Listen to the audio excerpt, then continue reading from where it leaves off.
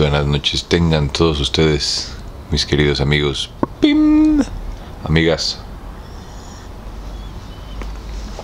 Ah, Pues todos los que están en medio. Ah, bienvenidos una vez más a este su programa favorito. La neta, la neta, su programa favorito. Ay, ay. La vida es un riesgo y el que tenga miedo de morir que no nazca. El círculo de lectura. Y estamos aquí reunidos, la verdad. Hoy estamos festejando no solo porque se celebra la independencia del mejor país del mundo que es México, sino porque ya llegamos a los 500, a los 500 miembros en este ejercicio tan bonito de resistencia cultural, en esta pandilla que somos todos nosotros. Así que de verdad, les mando besos, besos y besos. Muchas gracias a todos ustedes. Y bueno, qué mejor manera de festejar que continuar con la lectura de Juárez y la revolución y las revoluciones de Ayutla y de Reforma por Francisco Bulnes. Nos quedamos en el capítulo 5, ¿no? Nos quedamos en el capítulo 5. Según yo. Capítulo 5. En la obra reformista de Juárez. Así que sin más por el momento ni preámbulos que no te importan, te doy las gracias a ti por venir, a ti por participar y a ti por querer saber más. Así que vamos. Capítulo 5. La obra reformista de Juárez. He probado que la gran obra reformista en México comenzó desde la época colonial, acentuándose desde 1811 a 1820. Los insurgentes la iniciaron y la, decretaron con vigor en 1814. Consumada la independencia, la reforma fue notable en 1824, audaz y profunda en 1833. Decayó hasta 1847 en que se hizo una torpe tentativa para reanimarla. La revolución de Ayutla fue marcadamente, marcadamente reformista, desarrollándose la reforma durante la dictadura de don Juan Álvarez, mucho más durante la de Comonfort, más todavía en la Constitución de 1857. Por último, el Partido Rojo le da gran vuelo durante la guerra, de junio de 1858 a julio de 1859. Con excepción de la ley Juárez, que abolió a medias los fueros eclesiásticos, Juárez no tuvo participio en la gran obra de reforma, sino de julio de 1859 en adelante. Para conocer exactamente la obra reformista de Juárez, debe dirigir la gran obra de la reforma en México en dos partes. Número 1. Obra de la reforma, desde la época colonial hasta julio 12 de 1859, durante la cual no tuvo intervención Juárez, con excepción de su ley sobre fueros en noviembre de 1855. Segunda obra, de obra 2, perdón, número 2, segunda, obra de la reforma desde junio, julio 12 de 1859 hasta el 31 de diciembre del mismo año en que intervino Juárez. La reforma después de la ocupación de la capital por el ejército liberal no es asunto de este libro, sino del que lo continuará. Ok. La gran obra de reforma anterior a la intervención de Juárez, julio de 1859, debo dividirla en dos partes. La aceptada plena y definitivamente por el Partido Conservador y la rechazada por él, y que ha sido la causa de la información, que ha sido la causa de la formación y lucha de conservadores y liberales. Esta operación es indispensable para destruir la leyenda secretaria, la leyenda sectaria que iguala a nuestros que iguala a nuestros conservadores con los de España y Francia de 1823. Los conservadores han aceptado desde su promulgación por la primera vez después de nuestra independencia la abolición del derecho divino como origen de los gobiernos, la residencia de soberanía en la voluntad de la nación, la división de poderes, la responsabilidad de los funcionarios públicos, el sufragio restringido o popular como generador de los, de los poderes públicos, todos los derechos del hombre con excepción de la libertad religiosa, el sistema, el sistema republicano representativo como forma de gobierno, y hubieran aceptado nuestra grandiosa ley amparo si lo hubieran conocido. En materia de reformas religiosas aceptaron la supresión de la Inquisición y de todos los tribunales de la fe, la libertad de todas las creencias religiosas siempre que su manifestación no fuera pública, la supresión de las órdenes monásticas militares y hospitalarias, la desamortización y nacionalización de los bienes de la Inquisición y de las órdenes monásticas, hospitalarias y militares, la reducción de los monasterios y conventos, la reglamentación para limitar la, adquisición por el clero de bienes de manos muertas, la reducción del número de frailes y monjas, y la necesidad de reformar sobre todo al clero regular, escandaloso por su relajación. Gran parte de los conservadores no vacilaban en aceptar la abolición de fueros militar y eclesiástico. Aceptó también la mayoría de los conservadores en 1824 el sistema federalista, pero viendo que el federalismo se convertía en confederalismo, de casi casgos, proclamaron el centralismo. Las leyes centralistas no derogaron los derechos y garantías individuales aceptadas desde 1824 por los conservadores. La dictadura de Santa Ana derogó muy pocas de las buenas leyes vigentes. Santa Ana no restableció nunca el derecho divino, ni la Inquisición, ni la esclavitud, ni la tortura judicial, ni los juicios secretos y sin defensa, ni otras muchas leyes antiguas derogadas por la Reforma. El gobierno de Santa Ana no fue un gobierno de malas leyes, sino de atentados continuos, escandalosos, cínicos contra buenas leyes. Si la gran mayoría de conservadores apoyaron la dictadura de Santa Ana, gran número de liberales hicieron lo mismo. Una fracción del Partido Conservador, acaudillada por don Antonio Jaro, que hizo Santa Ana terrible guerra en la prensa, con la conspiración y con las armas. Puede pues afirmarse que en México todas las reformas políticas, aún las más avanzadas, fueron aceptadas por el Partido Conservador, excepto aquellas que emanaban de la gran destrucción, aquellas que emanaban de la destrucción de los privilegios de la Iglesia, tal como eran admitidos por los países católicos de Europa en 1840.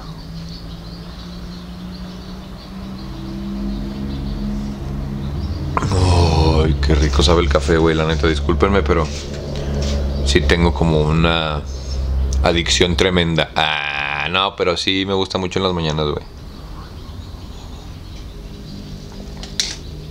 A veces tomo más, a veces tomo menos. Y a veces, la neta, le atino como que la cantidad que hay que echarle al filtro para que quede así de.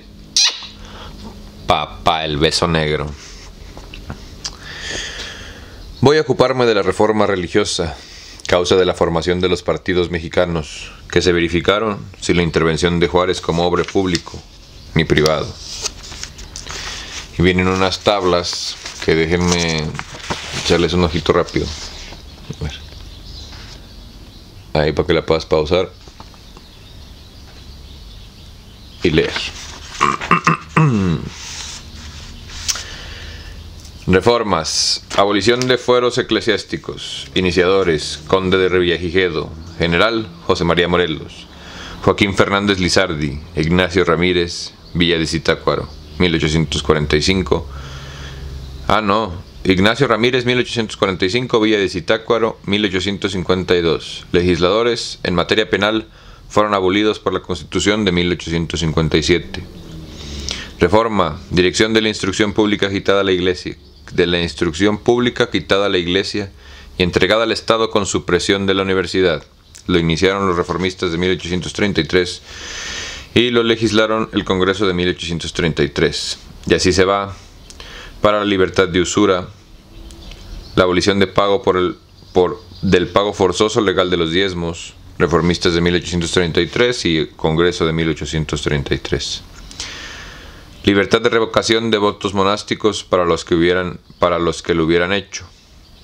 SV2, Congreso de 1833 y los Constituyentes de 1857. Previsión a la Iglesia de adquirir bienes y raíces. Supresión completa de órdenes monásticas. Supresión de órdenes monásticas de, de hombres. Libertad de conciencia. Libertad de cultos.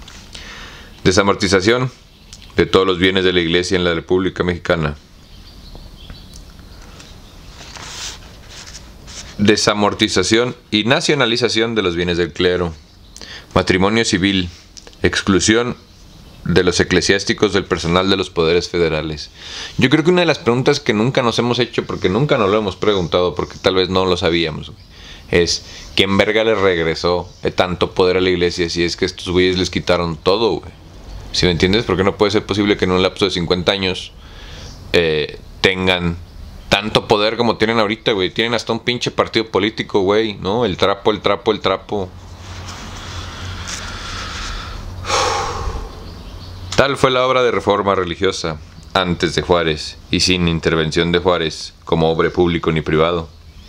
Veamos no la obra de Juárez, sino la obra reformista del gobierno de Veracruz, en la que intervino Juárez. No es lo mismo intervenir en una obra, colaborar en ella, que ser su único autor. Se ha, elogiado al gobierno de Veracruz que haya decretado la separación de la iglesia y el Estado. No es cierto que haya decretado tal cosa. Ese gobierno no sabía lo que era la separación de la Iglesia y el Estado, ni lo saben tampoco los que creen en semejante gloria. Lo que impropiamente se llama separación de la Iglesia y el Estado fue decretado en Veracruz en julio 13 de 1859, y la libertad de cultos fue decretada el 4 de diciembre de 1860. No es posible la separación de la Iglesia y el Estado sin libertad de cultos, y habiendo sido esta decretada el 4 de diciembre de 1860, es imposible que el 13 de julio de 1859, año y medio antes, hubiera sido serio el decreto de la separación de la Iglesia y el Estado. El gobierno de Veracruz decretó el 13 de julio de 1859 una majadería, como es la siguiente. Artículo 3. Habrá perfecta independencia entre los negocios civiles y negocios puramente religiosos. Había, siempre había sido esa perfecta independencia entre los negocios civiles y los puramente religiosos, aun cuando hubiera unión de la Iglesia y el Estado. No es lo mismo la separación de negocios entre dos personas que la separación de esas dos personas para cortar sus relaciones de amistad, comerciales o políticas. Además, un gobierno puede tener separados los negocios puramente militares de los negocios diplomáticos y no considerarse por tal motivo dos estados en la nación. Según nuestra Constitución, hay división de poderes, y cada poder tiene sus negocios propios, y no hay por eso tres gobiernos en la República. En teoría, ¿eh?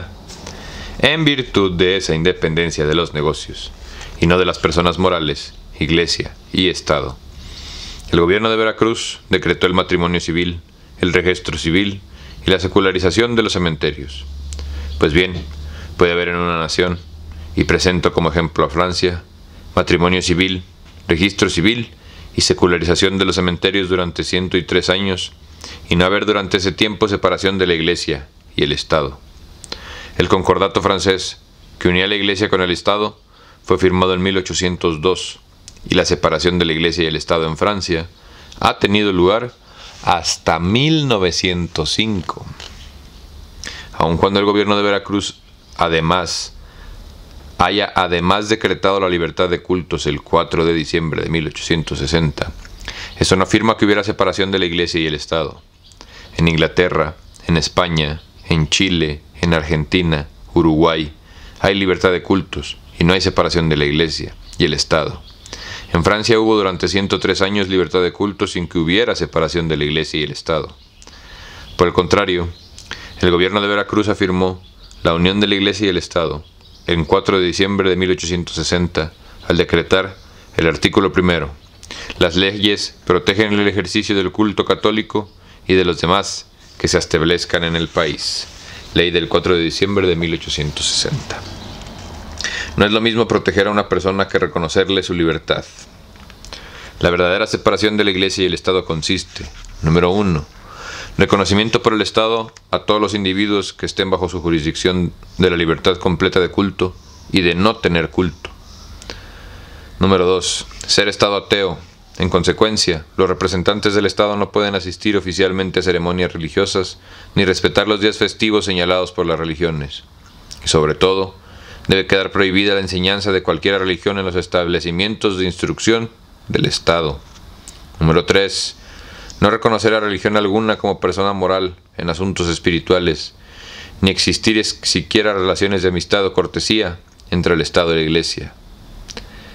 El gobierno de Veracruz no decretó en 13 de julio de 1859 la libertad de cultos, ni la libertad de no tener culto, ni la instrucción laica, ni el desconocimiento de la Iglesia como persona moral para asuntos religiosos o para simples relaciones de amistad y cortesía. En consecuencia, no decretó la separación de la Iglesia y el Estado. Dicha separación fue decretada en México, en toda regla, hasta 1874. Así es, para los más observadores entre ustedes, tiré el café, rompí la taza. Ya saben, una cosa buena. Perdón.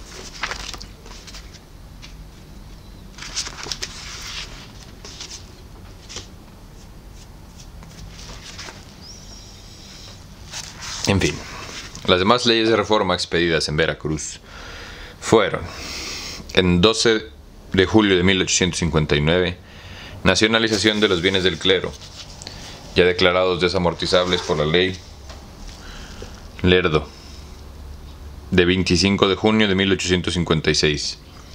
Antes que el gobierno de Veracruz habían decretado la nacionalización de los bienes del clero en 1858 los gobernadores de los estados de Nueva León y Coahuila, Zacatecas, Jalisco, señores Vidaurri, Castro y Ogazón. Además, el general don Santos de Gollado había decretado la nacionalización de los bienes del clero. Ay, perdón. Suficientes a contribuir, suficientes a cubrir la contribución impuesta al clero de dos millones y medio de pesos. Véase, decreto del general de Gollado el 7 de diciembre de 1858. Los gobernadores de los estados de Nuevo León, Coahuila. Y Zacatecas y Jalisco, al expedir sus leyes de nacionalización de los bienes del clero, lo hicieron sin autorización ni consulta del gobierno de Veracruz, sino en virtud del artículo constitucional que dice, toda facultad no reconocida expresamente a la Federación se entiende reservada a los estados. En 12 de julio fue decretada la exclaustración de frailes por el gobierno de Veracruz, debiendo subsistir los conventos de monjas. Los estados de Nuevo León y Coahuila y Zacatecas ya habían decretado la exclaustración de los frailes en los conventos de sus respectivos territorios. En 4 de diciembre de 1860 fue decretada por el gobierno de Veracruz la libertad de cultos. Ya existía, por haber omitido la Constitución Federal de 1857 y las de los estados, decretar la intolerancia religiosa. Además, no puede haber prohibición sin, sanación sin sanción penal. Y la Constitución de 1857 prescribió, nadie puede ser juzgado ni, ni sentenciado sino por ley expedida con anterioridad al caso, y exactamente aplicable a él. Esta ley no existía, ni podía existir como ley orgánica de la Constitución, por no haber ésta prescrito la intolerancia religiosa el 11 de agosto de 1859. El gobierno de Veracruz declaró cuáles debían ser los días festivos para el Estado y la prohibición de asistencia oficial a las funciones religiosas. No habiendo decretado la Constitución del 57 religión del Estado, éste no podía tener religión y en consecuencia no podía asistir a las funciones religiosas como súbdito espiritual de la Iglesia. No era necesaria semejante prohibición. Es claro que si el Estado no tiene religión, no debe guardar, como lo previene la Iglesia, los días festivos religiosos. Pero el decreto relativo expendido por el gobierno de Veracruz es inconsecuente con el principio del Estado, sin religión y notoriamente desatinado, pues dice, artículo primero, dejan de ser días festivos para el efecto de que se cierren los tribunales, oficinas y comercio, todos los que no queden comprendidos en la especificación siguiente. Los domingos, el, día de Año Nuevo, el jueves y viernes de la Semana Mayor, el jueves de Corpus, el primero y 2 de noviembre, días de Todos Santos y de Muertos, el 16 de septiembre y los días 12 y 24 de diciembre, Virgen de Guadalupe y Nochebuena. Este decreto no tiene sentido filosófico ni común. ¿Era o debía ser católico el Estado? Entonces, ¿por qué no se sometía a los preceptos de su Santa Madre Iglesia? ¿No debía ser católico el Estado? ¿Por qué, entonces, guardar un buen número de fiestas del catolicismo? ¿Qué quiere decir eso para que se cierre el comercio? Si al comercio se le ocurría abrir sus establecimientos el día de Corpus, ¿la policía debía cerrarlos? El gobierno de Veracruz decretó el matrimonio civil, el registro civil y la secularización de los cementerios, que son consecuencias ineludibles de la libertad de cultos, año y medio antes de decretar esa libertad. Por otra parte, el matrimonio civil, el entierro civil, el nacimiento civil, deben coexistir como lo indica su significación, pues no se concibe el matrimonio civil obligatorio y el entierro religioso obligatorio. el gobierno de Veracruz promulgó los decretos relativos, separada y sucesivamente, probando que no tenía conciencia de lo que legislaba.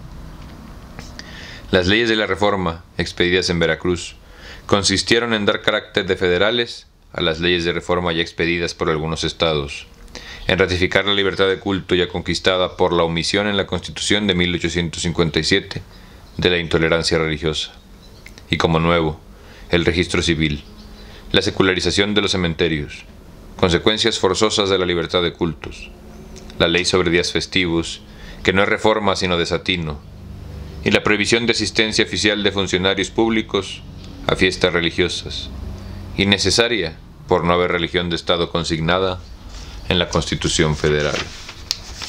Vamos a ponernos, vamos a quitarnos nuestra gorra normal y vamos a ponernos nuestra gorra conspiranoica de papel aluminio y cómo durante toda la historia de la humanidad, piénsalo, güey, me acaba de caer el 20, así, me acaba de caer un Benito Juárez así en la bolsa, güey.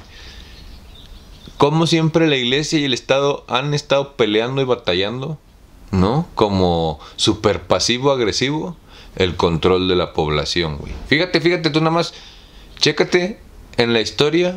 No le, no le creas a Barbitas, güey. Barbitas está loco, güey.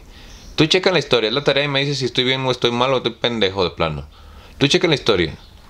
¿Cuántas veces se han enfrentado la iglesia y el Estado por el control de la población? De una manera a lo mejor pasivo-agresiva o directa, ¿no? Tú nomás vamos a checarlo. Vamos a checarlo y vamos a ver hasta la fecha quién va ganando.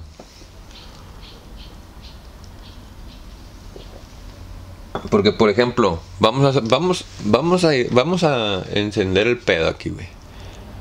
¿A poco no les da mucho cringe mucho no sé qué, güey, que su presidente, el cabecita de algodón, sea tan reformista y se la chupe tanto el pinche gato este argentino líder de la iglesia pedófila, güey. ¿A poco no les causa como un problema por ahí, güey? A ver, pero bueno, continuemos. Don Melchor Ocampo, hablando de la ley de nacionalización de los bienes del clero, promulgada en Veracruz el 12 de julio de 1859, afirma que entrañan tales principios de injusticia y desacierto. Ocampo tiene razón. Esa ley no es practicable como fue expedida, y para aplicarla, Ocampo tuvo que pedir una serie de circulares llamadas aclaratorias, y que en realidad reformaban sustancialmente la ley. El principio filosófico que condena la existencia de los conventos, de frailes, condena igualmente los de monjas, sin embargo, solo fueron suprimidos los de frailes, declarando la ley subsistente los de monjas, porque esta gran inconsecuencia, y todas las que ya señalé acompañadas de colosales desatinos. La razón es muy sencilla, porque el gobierno de Veracruz no había estudiado la cuestión de la reforma, y no la había estudiado porque no le interesaba como bandera de la revolución.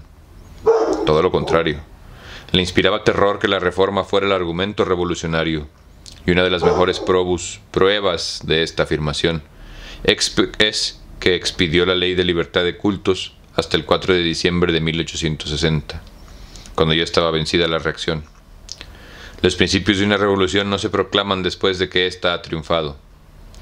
Luego no estaba en el programa de gobierno de Veracruz que los principios reformistas fueran la bandera de la revolución. Las leyes de reforma, sin criterio filosófico, sin claridad, sin condiciones practicables, sin lógica, sin estudio, sin conciencia de lo que se hacía.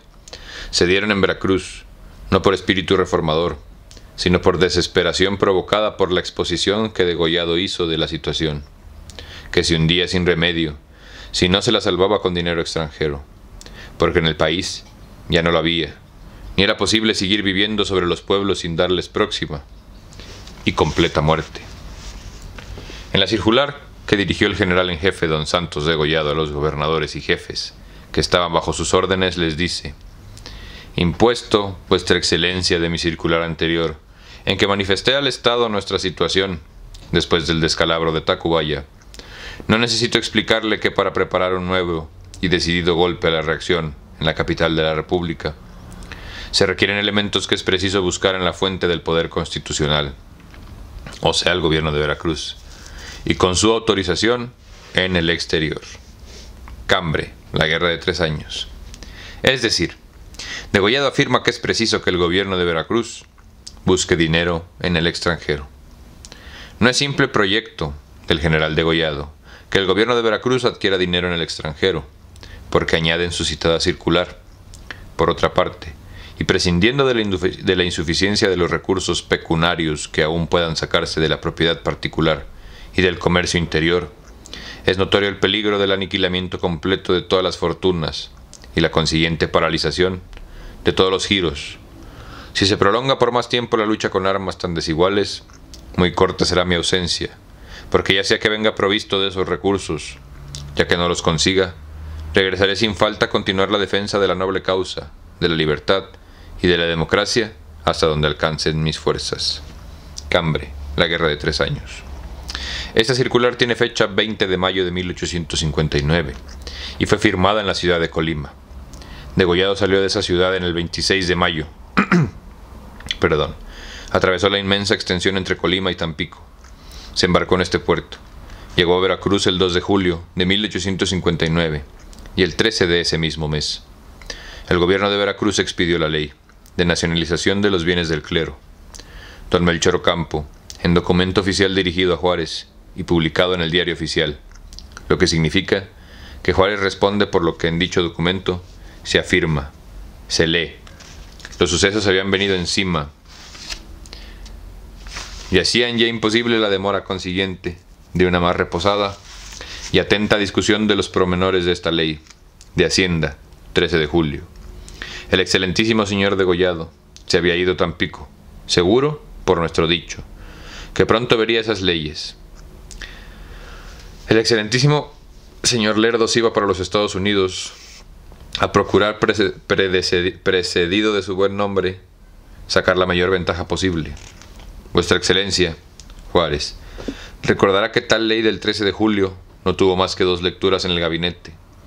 La una como si hubiera sido para lo, que para lo que en el sistema parlamentario se llama discusión en lo general, y la otra, que aunque se hizo deteniéndose en cada artículo, solo fue. Y la otra, que aunque se hizo deteniéndose en cada artículo, solo fue por unos cuantos minutos. Exposición que don Melchor Campo dirigió al excelentísimo señor presidente de la República, licenciado don Benito Juárez, 1861. Se encuentra en Ocampo, obras completas. De manera que la trascendente ley de nacionalización de los bienes del clero, que tiene gran número de artículos, que resuelven multitud de cuestiones afectadas por grandes intereses, según declaración de Ocampo, aceptada por Juárez, solo fue leída dos veces y discutida unos cuantos minutos. Esa vertiginosa precipitación se explica por la llegada de Degollado que ha hecho su viaje por tierra desde Colima hasta Veracruz, atravesando numerosos campos enemigos, para decir a Juárez que urge obtener fondos en los Estados Unidos, porque los pocos recursos que quedan al país en agonía son insuficientes para terminar la guerra. El gobierno de Veracruz determinó entonces expedir la ley de nacionalización para ver si obtenía dinero por medio de los bienes del clero en los Estados Unidos. La ley fue expedida y don Miguel Lerdo de Tejada salió inmediatamente para los Estados Unidos. No fue, pues, el deseo de hacer grandes reformas sociales, sino la necesidad apremiante de obtener dinero en el extranjero para continuar la lucha, lo que determinó al gobierno de Veracruz a tomar, contra su voluntad, el papel de reformista. Neta que me gusta un chorro cómo presenta la historia Bulnes, güey. O sea, como que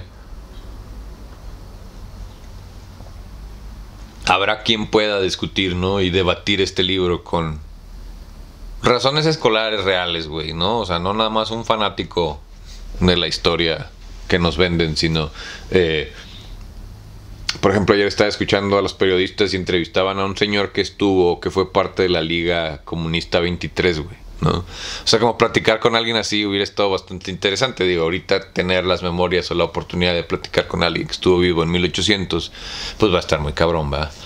Pero, eh, sí creo que a pesar de que pueda haber alguien que pueda refutar este libro, ¿no? De, a capa y espada, me gusta mucho cómo presenta la información Bulnes, güey. O sea, cómo te va dando como que el contexto, el contexto, el contexto para cuando quiere meter él su veneno. Yo sí se los estoy comprando, todos, güey. La neta. O sea...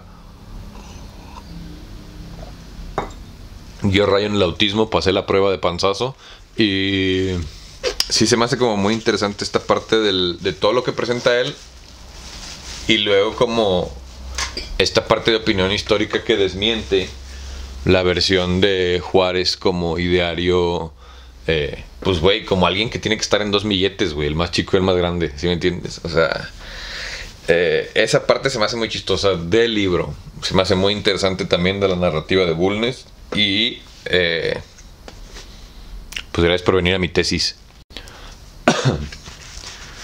Juárez es censurable por haber expedido las leyes de reforma demasiado tarde. En la circular a los gobernadores y caudillos que acompaña la ley del 12 de julio de 1859, Juárez dice, desde entonces, el clero escandalosamente y sin disimulo ha sostenido con los tesoros destinados a otro objetivo la fuerza armada que lanzó al combate. El clero ha fomentado este constante malestar con el gran elemento de los tesoros que la sociedad confió a su cuidado y que ha malversado en la serie de tantos años con el fin de sobreponerse y aún de oprimir a la nación y a los legítimos depositarios del poder. La gente no le depositó sus bienes al clero de confianza. La gente le depositó sus bienes al clero porque estaba cambiando su eh, felicidad eterna a cambio de bienes terrenales. No se hagan pendejos, todos lo sabemos, güey. Todo el diezmo y todo lo que le entregan a la iglesia están comprando el paraíso en la tierra, como los testículos de Jehová compran el cover porque en su cielo nada más caben 4400.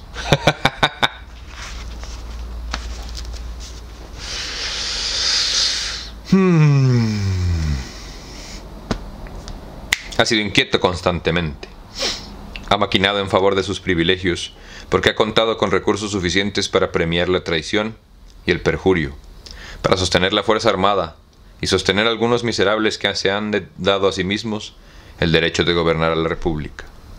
Es, pues, evidente y de todo punto incuestionable que cegando la fuente de los males de estos desaparecerán, como desaparece el efecto, luego que cesa la causa que lo produce. Cuando el clero, siguiendo las huellas de su divino maestro, no tenga en sus manos los tesoros que ha sido tan mal depositario, cuando su conducta evangélica tenga que distinguirse en la sociedad, entonces, y sólo entonces imitará las virtudes de aquel, y será lo que conforme a su elevado carácter debe ser, es decir, el Padre de los creyentes y la personificación de la providencia en la tierra. ¿Qué se diría de un médico que acertado en el diagnóstico y conociendo el remedio infalible contra la enfermedad, dejase el enfermo de caer, hasta que se anunciase la agonía para comenzar el infalible tratamiento. Los hombres de Veracruz sabían, antes de haber ido a esa ciudad, que el dinero del clero figuraba demasiado en los cuartelazos, que deshonraban la política del país. Sabían que el remedio eficaz contra tan grande mal era privar al conspirador permanente de los medios de revuelta. ¿Por qué esperaron hasta julio de 1859 para aplicar un tratamiento que debió comenzarse después del síncope causado por el golpe de Estado de Comonfort en enero de 1858? Si Juárez hubiera decretado la nacionalización de los bienes del clero en Guanajuato en enero de 1858, el clero no hubiera podido vender millón y medio de pesos en certificados con garantía de sus bienes. Los adjudicatarios que habían desamortizado hasta diciembre de 1857 por valor de 23 millones de pesos, conforme a la ley del 25 de junio de 1856. Sabiendo que el dinero que debían de pagar al clero sería la mayor parte de su bolsillo, habían hecho esfuerzos inauditos a favor de la revolución. Las leyes de nacionalización de bienes eclesiásticos, expedidas sin autorización de Juárez por los caudillos Vidaurri, Ogazón y González Ortega, produjeron recursos relativamente considerables para organizar y sostener las fuerzas liberales. Estos recursos habían sido mayores y más oportunos si la nacionalización se hubiera decretado inmediatamente después del desastre de Salamanca. Hay que ver cuál fue el desastre de Salamanca porque no me acuerdo. Hubo timidez o incapacidad. El cargo de incapacidad no es de administrarse nombres como Ocampo, como Ruiz, como Prieto, como el mismo Juárez. Hay que atribuir el desacierto o timidez. Se temió sin duda que la ira del clero se exacerbase y levantase a todo el pueblo mexicano transformándolo en un Ricardo corazón de león. Semejante temor expresa olvido de la historia de la humanidad. Si no saben quién es Ricardo Corazón de León, es... Eh, creo que era un rey de Inglaterra. Sí, era un rey de Inglaterra que se fue a pelear las cruzadas. Y tal vez no has escuchado, no te suena el nombre de Ricardo Corazón de León, pero tal vez sí te suena o, o te resulta conocido o familiar la historia de la espada en la piedra o de Excalibur. Eh, sucedió en las tierras de Ricardo Corazón de León. Eh, dicen por ahí que hay como una referencia histórica a libro que hay de La espada en la piedra o de Excalibur y que en realidad en vez de ser Ricardo Corazón de León era Ricardo Ponce de León. Al final era un culero que vivía en Europa en la época de las espadas y los metales, más específico en la época de las cruzadas, o sea, cuando los caras pálidas decidieron empezar a invadir eh, o a liberar, ¿no? Este concepto de la libertad americana, ¿no? Eh, bueno, no americana, gringa. Este, cuando decidieron ellos marchar a través de toda Europa y luego a través de todo Indoasia hacia Jerusalén y la tierra santa para ellos, ¿no? Para pelearse por un monte en el que sacrificaron a una persona. En fin. Eh, y abandona su reino, güey. Y se hace un puterío y salen un chorro de historias y empieza como que esta parte feudal. Ese es Ricardo Corazón de León. Un piadoso, bondadoso. Es más, ahorita checo en Google, a ver, vamos a ver para dejarnos de pendejadas. Vámonos, cinco minutos de historia y de contexto. Ricardo I, Corazón de León. Rey de Inglaterra, perteneciente a la dinastía Plantagenet, Oxford, 1157 Chaluz Aquitanía, 1199. Era el tercer hijo de Enrique II de Inglaterra y Leonor de Aquitania. Heredó de su madre el, ducado, bla, bla, bla, bla, bla, Territorios en los que tuvo que guerrear continuamente para mantener sometida a la nobleza. En 1173-74 participó con su madre y hermanos en la gran rebelión contra su padre, el cual invadió sus dominios y le obligó a pedir perdón. Bla, bla, bla, bla, bla. En 1189, al morir su padre, Ricardo Corazón de León se convirtió en rey de Inglaterra, duque de Normandía y de Anjou. Sin embargo, pasó fuera de Inglaterra la mayor parte de su reinado. Su obsesión era la cruzada de la cristiandad contra Saladino, que acababa de tomar Jerusalén, y efectivamente fue uno de los jefes de la Tercera Cruzada, 1189 al 92, junto con el emperador alemán Federico I Barbarroja, y el rey Felipe II de Francia. Eh, básicamente, bla, bla, bla, bla, bla, bla, bla. Él se desentiende por completo de la historia o del drama en Europa y se va obsesionado, vende todo, hace un desmadre y deja en su cantón un puterío, güey. También, fíjense que otras historias parecidas eh, a las del Ricardo Corazón de León, güey. No sé si han escuchado hablar de un caballero que se hace llamar Robin Hood es en la misma época, Es, es, este mismo contexto histórico de este cabrón que abandona su gobierno para irse a pelear una guerra ajena, ¿no? Cosa que también, pues ahí échenle talacha y vean a qué gobernador se parecen. Ricardo I fue coronado de nuevo. Ah, porque pierde la corona, mira, intentó volver a Inglaterra Ah, bueno, le quitan la corona por alguna razón, que no vamos a leer ahorita porque nada más estamos dando contexto rápido. Y pero partió enseguida a Normandía, donde pasó sus últimos años luchando contra el rey de Francia. Murió durante el ataque a una fortaleza de su vasallo, el vizconde Limoges.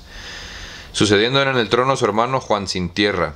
Ricardo I de Inglaterra fue considerado ya en vida la personificación del caballero cristiano medieval y se convirtió en una leyenda romántica después de su muerte. Su entrega a la mística guerra de la Cruzada su peripecia aventurera por Europa y su larga ausencia del reino permitieron que surgiera el mito de un rey deseado por el pueblo y traicionado por enemigos desleales. Eh, te venden esta historia de que el güey era un rey así como wow, ¿no? Que la gente mamaba. Que cabrón, todos sabemos que es mentira, güey. O sea, si ahorita la gente está bien pendeja, imagínate hace mil años, o sea, y no que estuvieran tontos de que eh, no tienen dos dedos de frente, güey, sino que eran bastante engañables, ¿no? O sea, pensaban que a los reyes los había escogido Dios. Entonces, pues, güey, no me puedes decir que había un culero que, que quería mucho a su gente cuando, pues, güey, eran una bola de pinches charlatanes hereditarios. O sea, por favor, honestamente, historia, don't touch my balls. Pero bueno, después de este contexto rápido e histórico sobre de quién era Ricardo Corazón de León,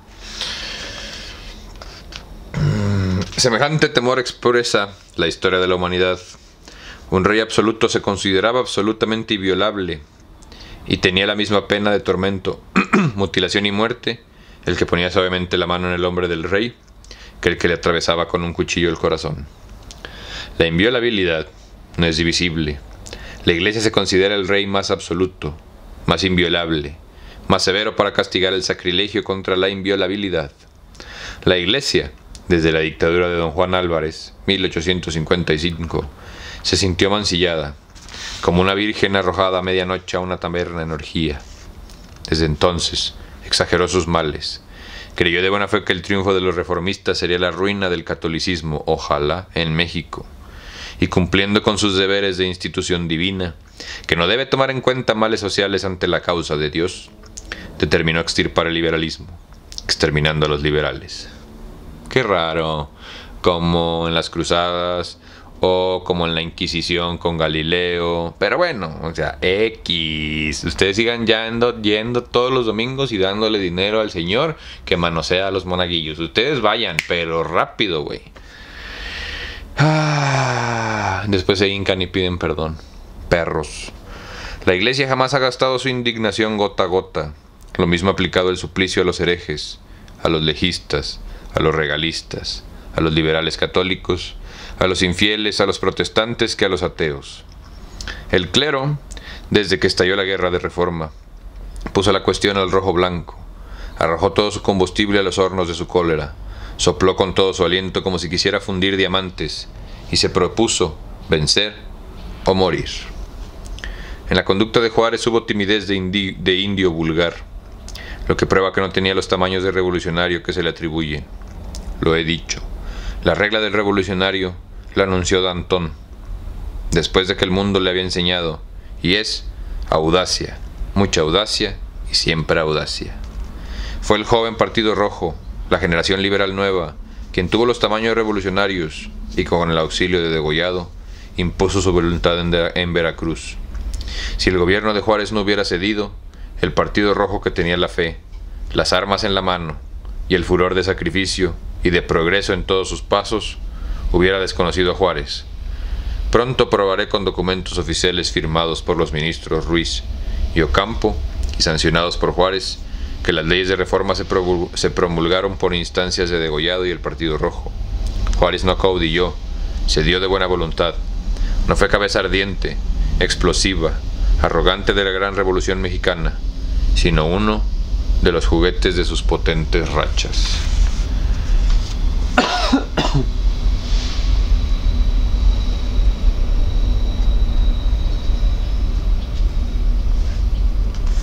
Imagínate el pinche escándalo que hizo este libro cuando salió Ñero. En la biografía de Juárez por Cerecero, dedicada a apología y antropológicamente, recomendada por don Matías Romero como la mejor más completo escrito hasta entonces, 1866, revisada y rectificada por el mismo Juárez, se encuentra escrito que las leyes de reforma, inspiración de los inmortales Lerdo de Tejada y Ocampo, A. Pola, página 83, Estoy pues autorizado por el mismo Juárez y por los más notables prelados de su culto para afirmar que las leyes de reforma, expedidas en Veracruz, no fueron obra del pensamiento del célebre don Benito. Don Juan de Arias, oficial mayor del Ministerio de Relaciones de Gobierno de Juárez en Veracruz, asegura.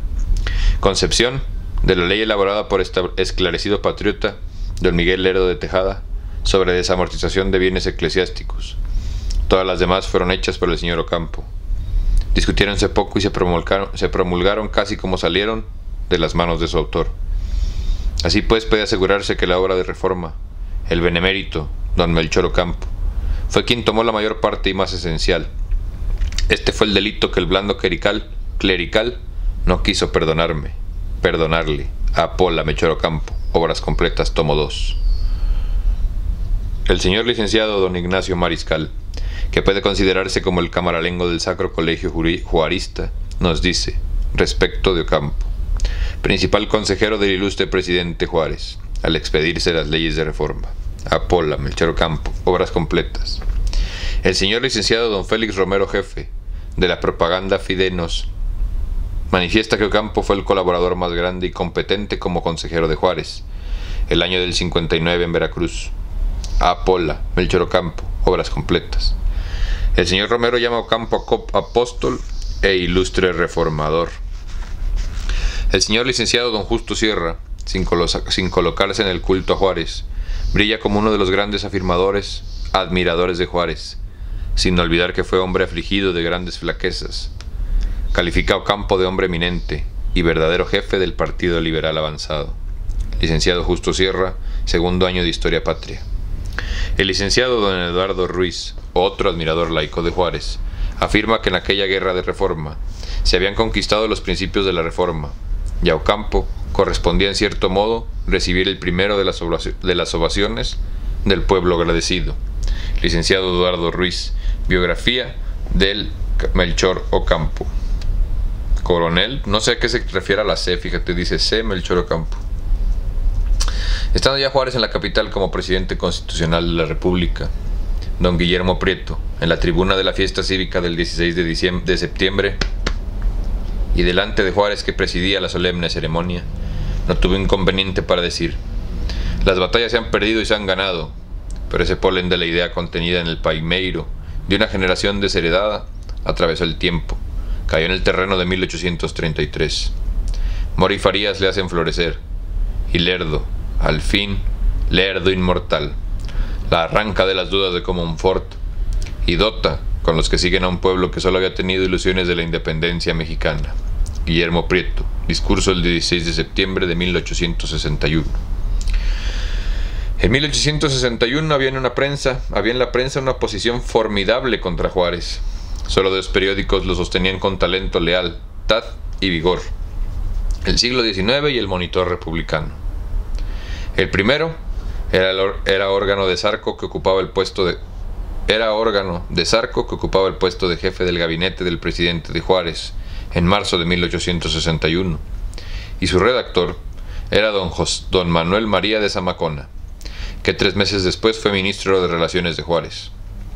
No se puede considerar el juicio de Zamacona sobre don Miguel Lerdo de Tejada como el de uno de los partidarios de este y el de un enemigo de Juárez. Don Manuel María Zamacona decía, al anunciar la muerte de don Manuel, de don Miguel Lerdo de Tejada. Podemos anunciar que la nación acaba de perder al más trascendental de sus hombres públicos. El señor Lerdo había sido hasta ahora la personificación de la iniciativa progresista.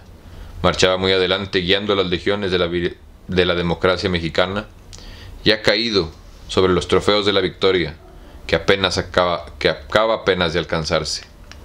Habrá quien se adelante a cubrir su puesto y a levantar la bandera, el lema claro y precioso de la Revolución Democrática. Manuel María de Zamacona, siglo XIX, 23 de marzo de 1861. Otro periódico juarista en el 61, el Monitor Republicano, decía al morir don Miguel Lerdo, la democracia está de luto, el que asestó golpes más severos a la reacción, el que en aquellos días asiagos en los que el gobierno liberal no contaba con un solo peso para atender a sus más urgentes necesidades, cuando perdidos el prestigio en lo militar y el crédito en la hacienda parecía próximo a hundirse, supo sin embargo hallar recursos para atender a apremiantes emergencias del momento, el que jamás desesperó del triunfo completo de nuestra noble causa, el campeón de la reforma, Miguel Lerdo de Tejada. En una palabra, ha muerto. Monitor Republicano, marzo 23, 1861. Zarco, el más grande amigo de Juárez, en los momentos en que felicitaba a la nación por haber tenido la dicha de sufragiar a Juárez como presidente, decía en el artículo economástico correspondiente, ante la historia, sin eclipsar el mérito de sus ministros, aparecerá con el carácter de grande e inteligente reformador. Juárez. Zarco, siglo XIX, junio 18 de 1861. Es mucho que Zarco, apasionado por Juárez y en momentos tan hermosos y solemnes como cuando levantaba el pan eucarístico, a la altura del alma conmovida de los fieles por divino tangible, haya declarado que Juárez no eclipsaría en la historia el mérito de sus ministros, lo que quiere decir que no estaba sobre ellos, pues si estuviera habría eclipse, según los teoremas astronómicos, probablemente contrarios a los patrióticos. Y en el mismo artículo, economástico para Juárez, Sarco afirma que Degollado era la más pura, la más noble personificación de ideas democráticas y reformistas. Sarco, siglo XIX, julio XVIII, 1861.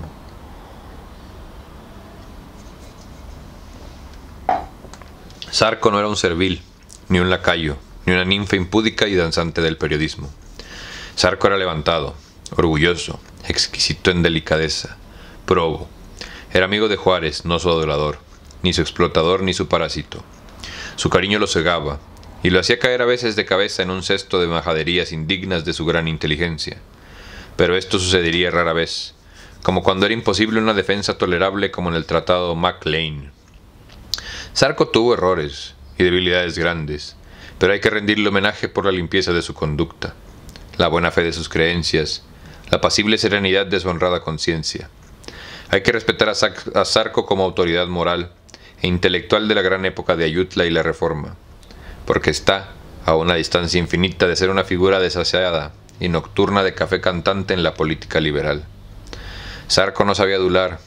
El 25 de diciembre de 1860, y en el momento en el que había triunfado la causa liberal, se esperaba a Juárez en la capital con grandes ovaciones. En el número uno del boletín de noticias, firmaba don Francisco Sarco los siguientes conceptos. La causa de la reforma, por fortuna, tiene magníficas y honrosas personificaciones. Juárez ha sido la firme columna de la legalidad. Degollado ha representado la constancia, la abnegación y la fe. Lerdo ha sido la inteligencia del Partido Progresista, que ha formulado con claridad y precisión las exigencias de la sociedad y sus aspiraciones al bien. González Ortega, caudillo popular, hábil y esforzado, ha tenido la dicha de reparar nuestros reveses y de dar el golpe de gracia a la facción insensata que pretendía luchar contra la voluntad nacional. Don Ignacio Manuel Altavirano, escribiendo 12 años después de la muerte de Juárez, nos, declara que don Melchor Ocampo era sin disputa el hombre más notable y más respetado del Partido Liberal, que se había hecho conocer por sus ideas avanzadas, su saber y la pureza de sus convicciones. Se le reputaba como el jefe del Partido Democrático Moderno, Ignacio M. Altamirano. Biografía de Ignacio Ramírez. El mismo señor Altamirano no coloca a Juárez entre los promotores de las leyes de reforma, pues nos ilustra, entonces, Ramírez, lo mismo que Ocampo, Miguel Lerdo, Gutiérrez Zamora, Degollado, La Llave, Garza, Prieto y Romero Rubio, fue uno de los principales promotores de las leyes de reforma, que Juárez expidió en los primeros meses de 1859 y que realizaban por fin la aspiración del Partido Liberal y el programa político y social del precursor de 1845, don Ignacio Ramírez.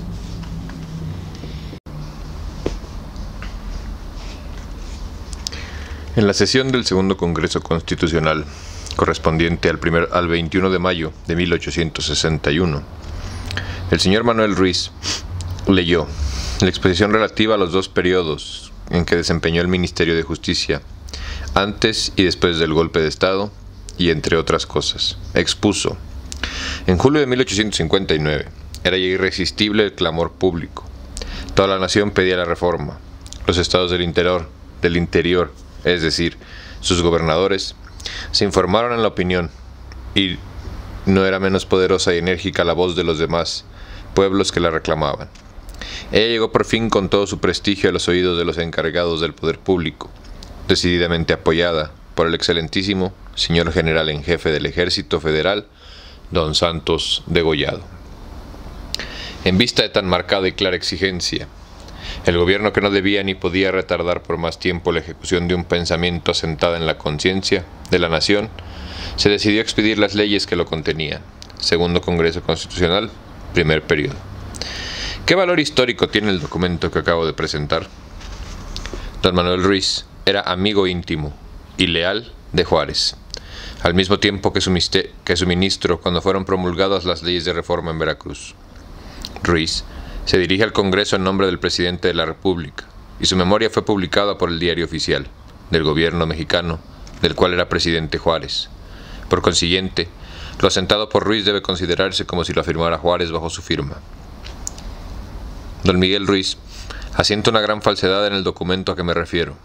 Jamás el pueblo mexicano ha sentido necesidad de las leyes de reforma. Si se entiende por pueblo, la totalidad, o por lo menos la mayoría de los mexicanos. Aún en 1905,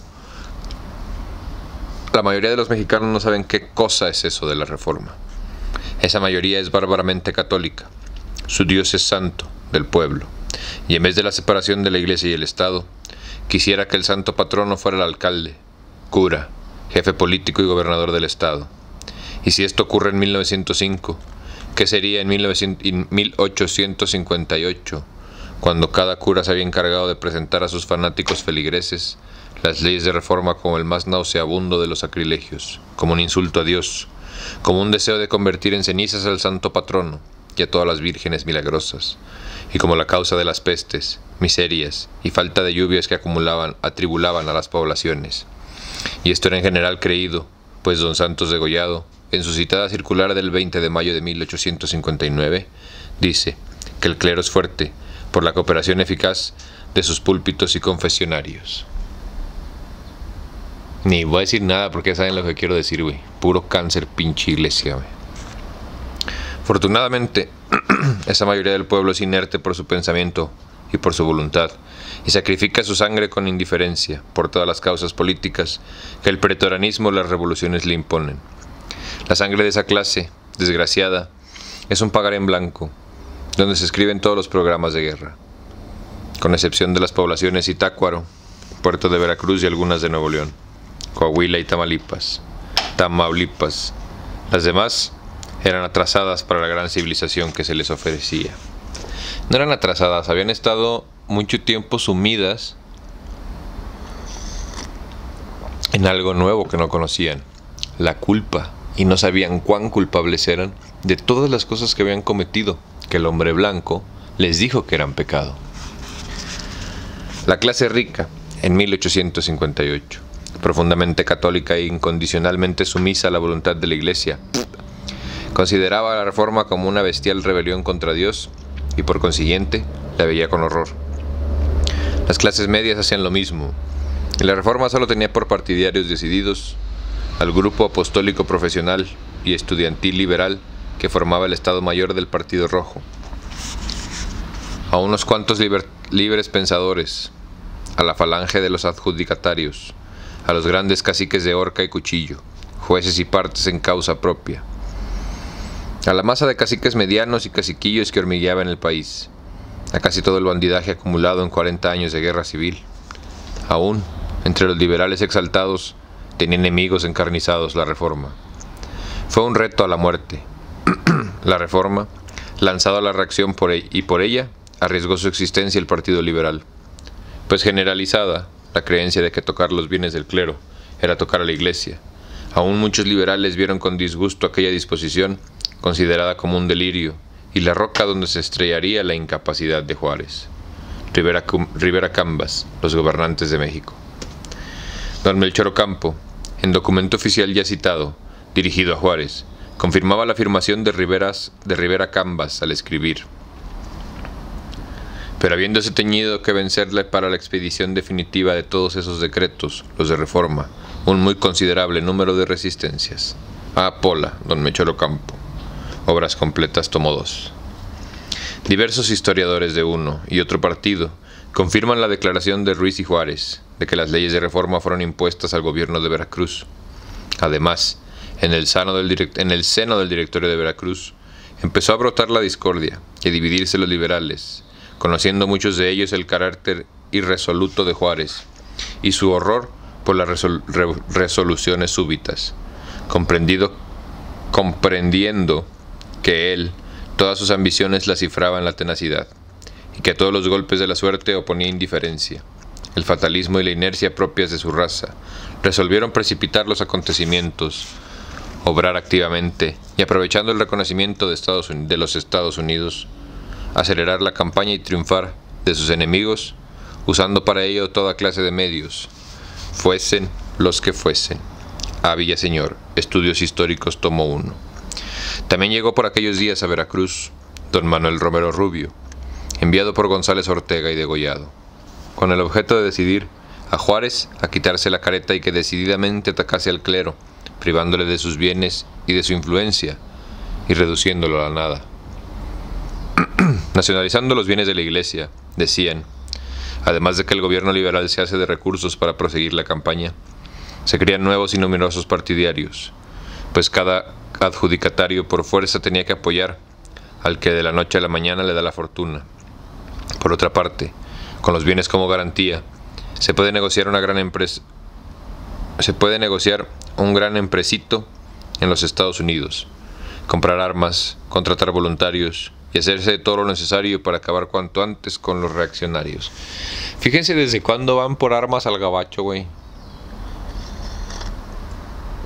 Desde cuándo es tan fácil ir y comprar un cohete en el gabacho, güey.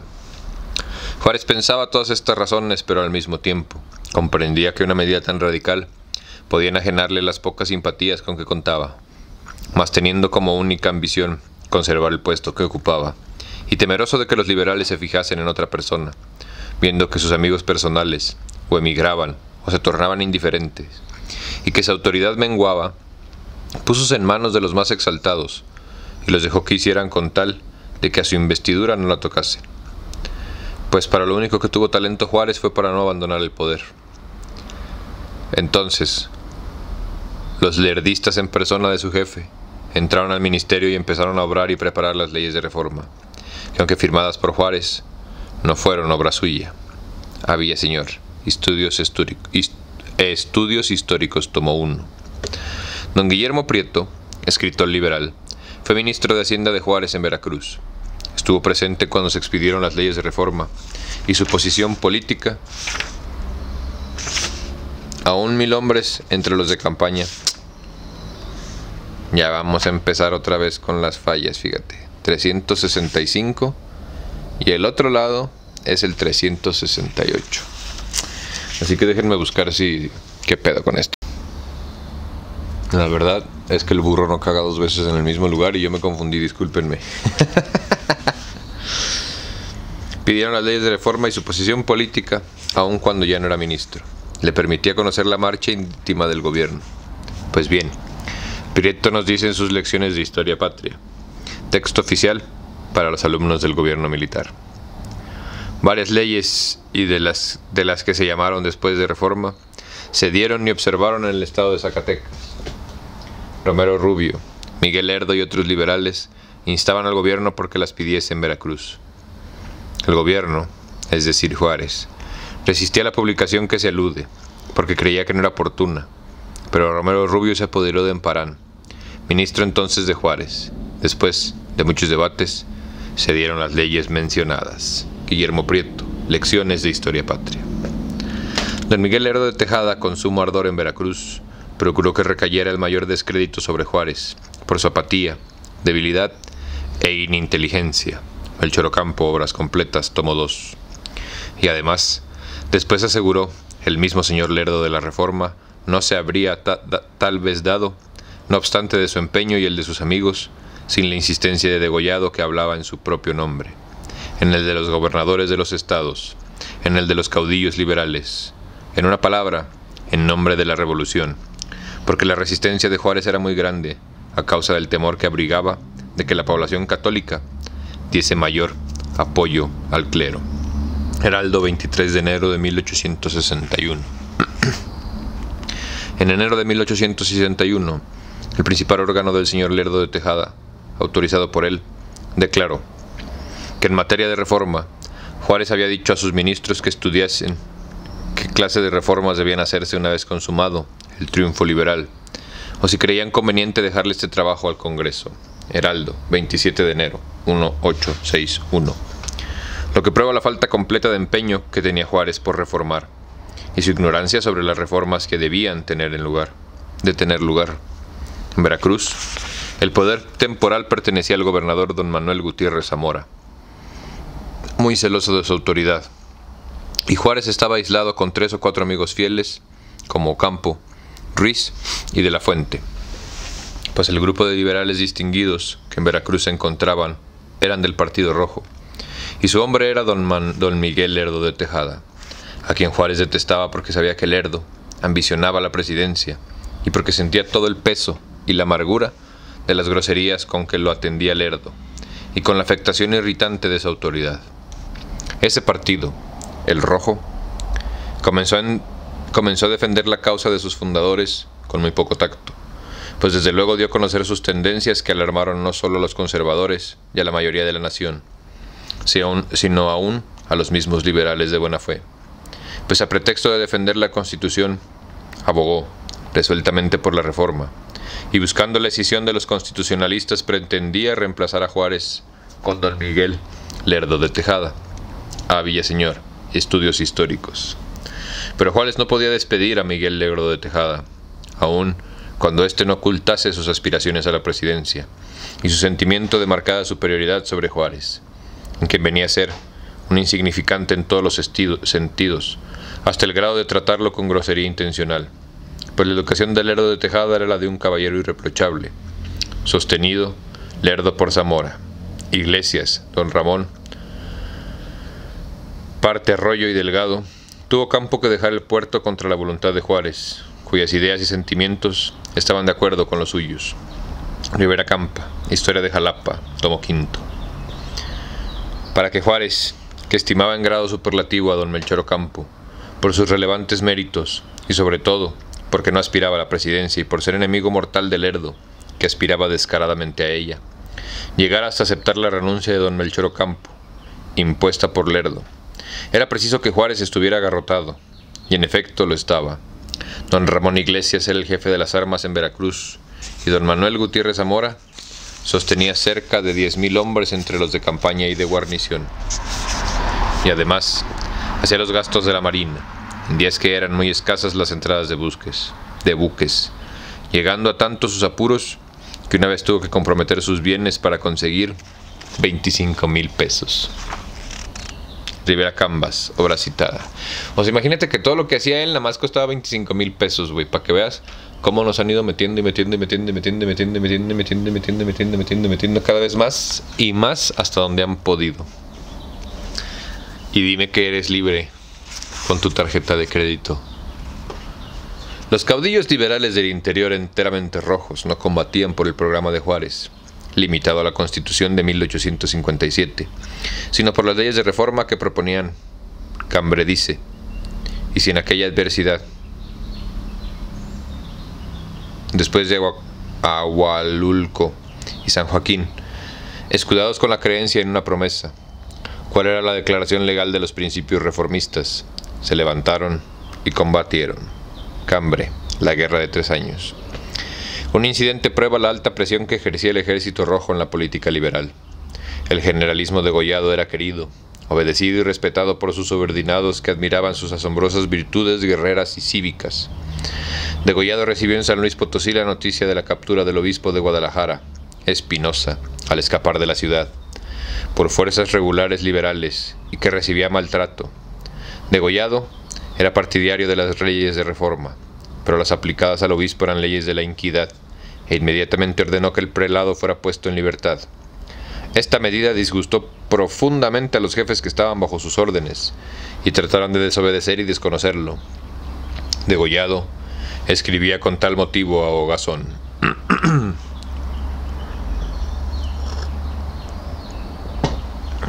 Sobre la libertad del obispo, del obispo Espinosa, solo diré a usted que el boletín apunta las razones que tuve para decretarla, que ya dije a la orden respectiva que tomo sobre mí, tomo sobre mí la responsabilidad la cual solo puede exigirme el supremo gobierno, y que aún, cuando yo haya cometido una gran falta al dictar semejante disposición, eso no da derecho a mis subordinados para amenazarme con un desconocimiento, como, me lo ha dicho el señor general Valle, don Leandro, Cambre, guerra de tres años.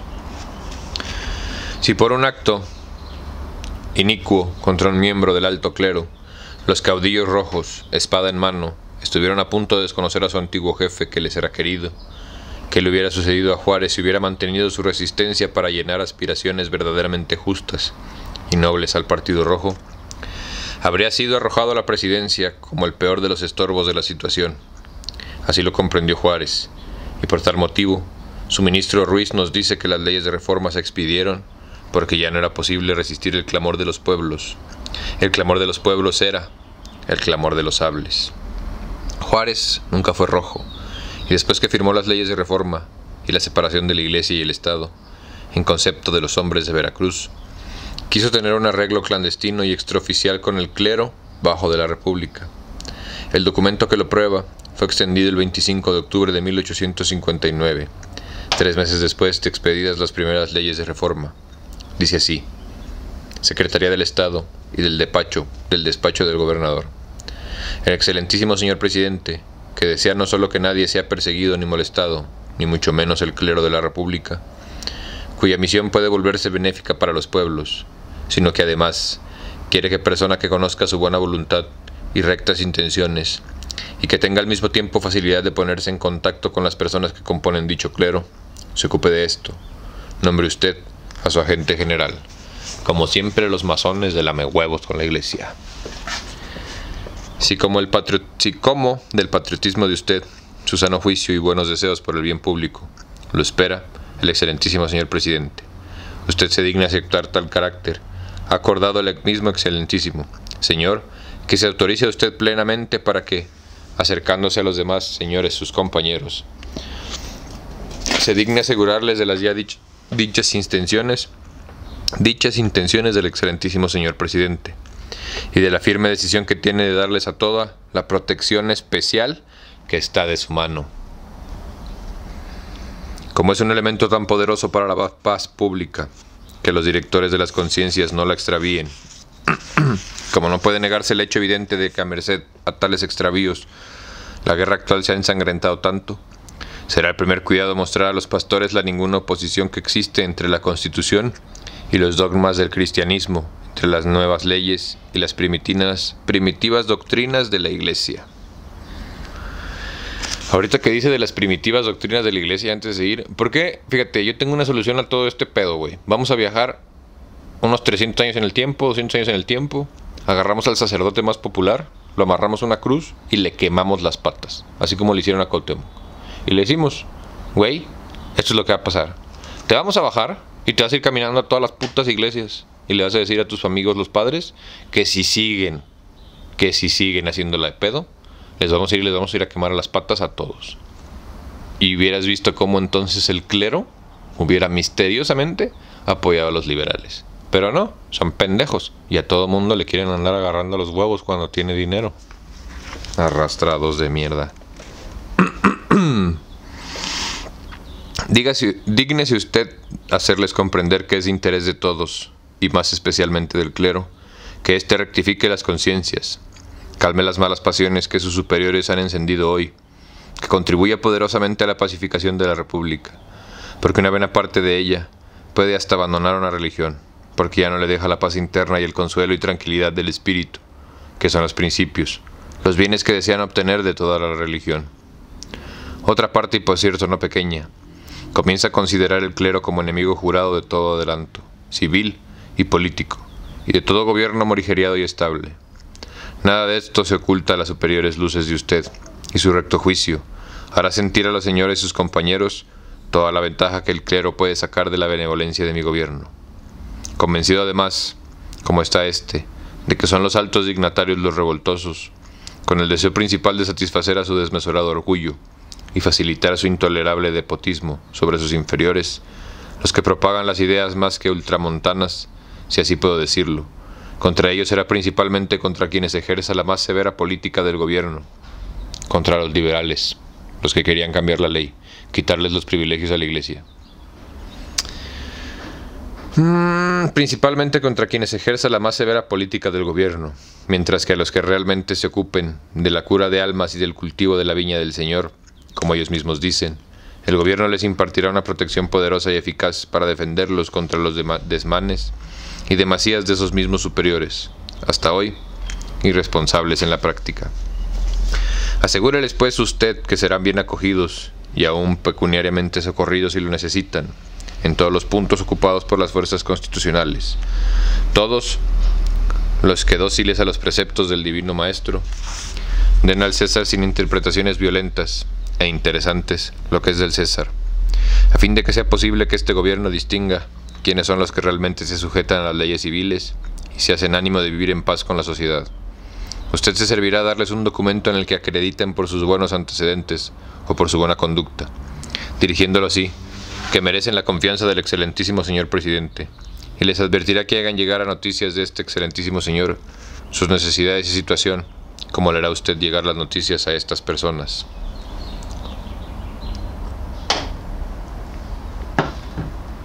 El trabajo es grande, pero no superior a la capacidad de usted.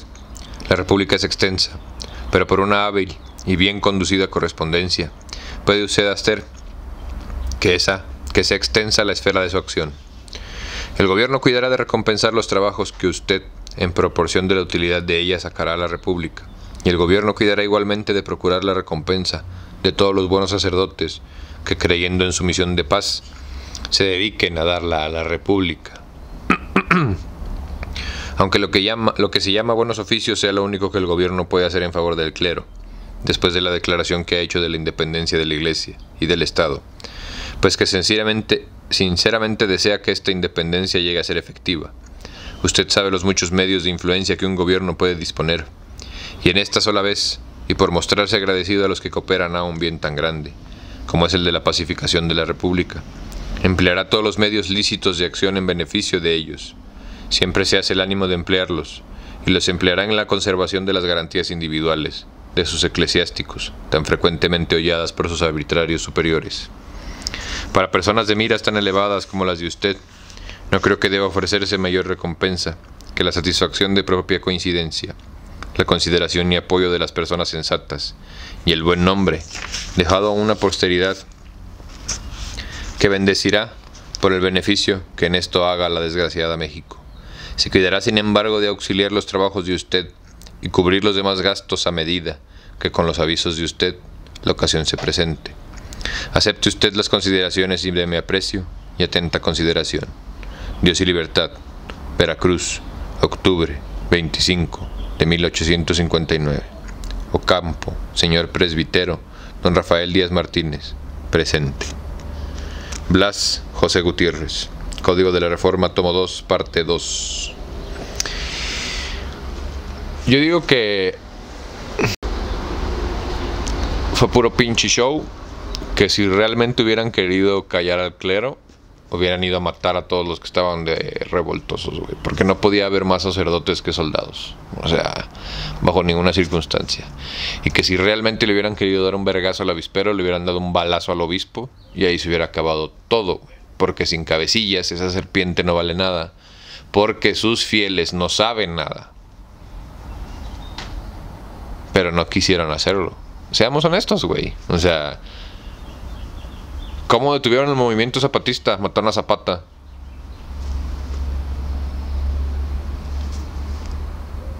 ¿Y no podían detener a la iglesia?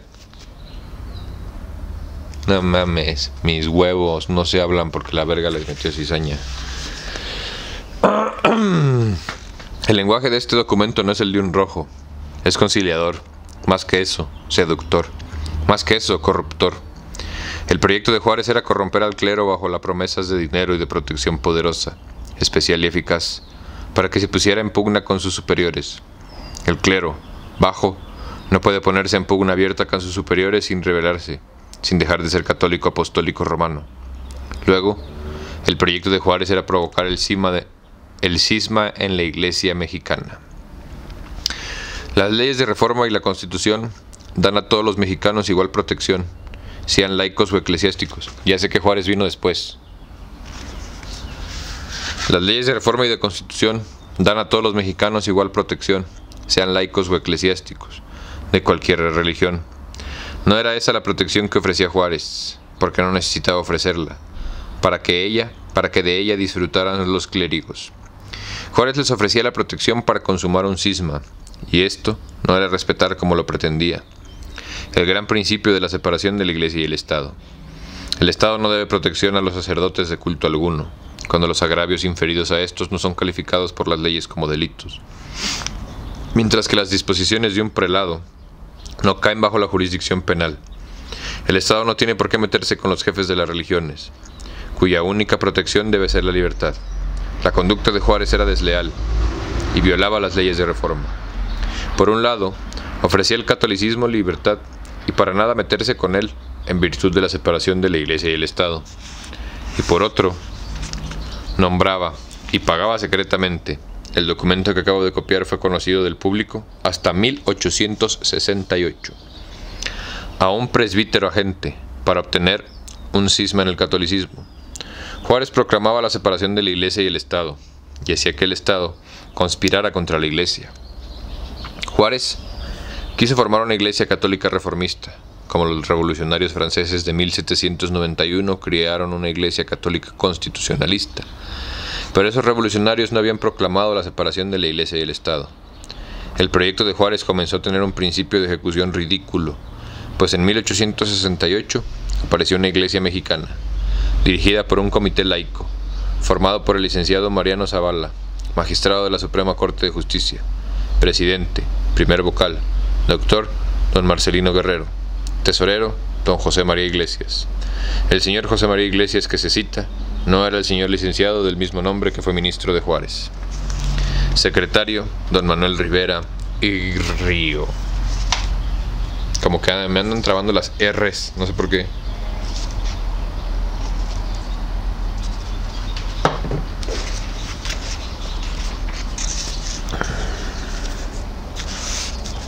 Semejante proyecto de Juárez de obtener la pacificación por medio de un cisma, prueba que no creía en el entusiasmo, en el clamor irresistible del pueblo mexicano por la constitución y la reforma, y que consideraba necesario para obtener el apoyo del pueblo, obtener primero el del clero bajo que lo dominaba. Igualmente prueba Juárez, prueba que Juárez nunca tuvo esa fe profunda, inalterable, inconmovible de inspirado en el triunfo de las armas, de las armas, para que Juárez, y sobre todo Campos hayan lanzado de cabeza al ridículo, es preciso que sus inteligencias hayan sufrido las perturbaciones propias de la meningitis tuberculosa. Y cosa notable, Ocampo era deísta y Juárez católico hereje, porque no es de liberales católicos ni de libres pensadores proyectar cismas. La herejía juarista de 1859, como actor político, traza la caricatura de un estadista de mediana calidad. Yo creo que más bien ninguno era religioso en realidad, güey, ¿no? Aprovechando que hay un cambio en el capítulo. Ninguno era religioso en realidad, güey. Más bien eran como que ambiciosos. Y se debían a lo que estuviera de moda, güey. Insisto, si hubieran querido parar a la iglesia, hubieran matado a los sacerdotes, güey. ¿Cuánto se necesitaba para capacitar a un charlatán de estos, güey? ¿Cuánto? O sea, uno, dos, tres años, seis meses, de entrada tenían que saber leer, güey, cosa que la gran parte de la población no sabía, ¿sí entiendes? Entonces, si te los empezabas a quebrar, güey, uno por uno, ¿en qué pueblo no pueden identificar al padre, güey? O sea, ni esconderse hubieran podido los hijos de su perra madre, güey. Hubiéramos acabado con ellos así, cabrón. Pero no quisieron. La neta. O sea, mucho pinche pedo, güey. Mucho pinche pedo cuando lo pudieron haber acabado así. Porque no me digan que todo este periodo no fue violento en México, ni que las calles estaban llenas de muertos, ni que fue un periodo de guerra. o sea, si me entiendes, güey? Puro pinche atole con el dedo.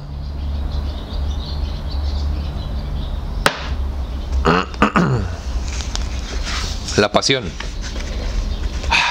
De barbitas. La pasión por elevar a Juárez con detrimento de todos los hombres ilustres de México se puede comprobar a cada momento en el desarrollo del invisible, impalpable e imaginaria obra de Juárez. Está comprobado y aceptado, aún por los más furibundos juaristas, que su ídolo no fue autor de las leyes de reforma y que ni siquiera las ilustró cuando fueron discutidas. Pues bien, a la ley del 22 de noviembre de 1855 se le llama Ley Juárez, no obstante que fue el presidente, don Juan Álvarez, obrando como dictador, quien la sancionó, firmó y promulgó. A la ley del 25 de junio de 1856 se le llama Ley Lerdo y no la ley de Comonfort, no obstante que este fue quien como presidente, y en virtud de sus facultades dictatoriales, la sancionó con su firma y la promulgó. A la ley del 11 de abril de 1857 sobre obvenciones parroquiales se le llama la ley Iglesias, a pesar de que fue Comonfort quien la sancionó y promulgó.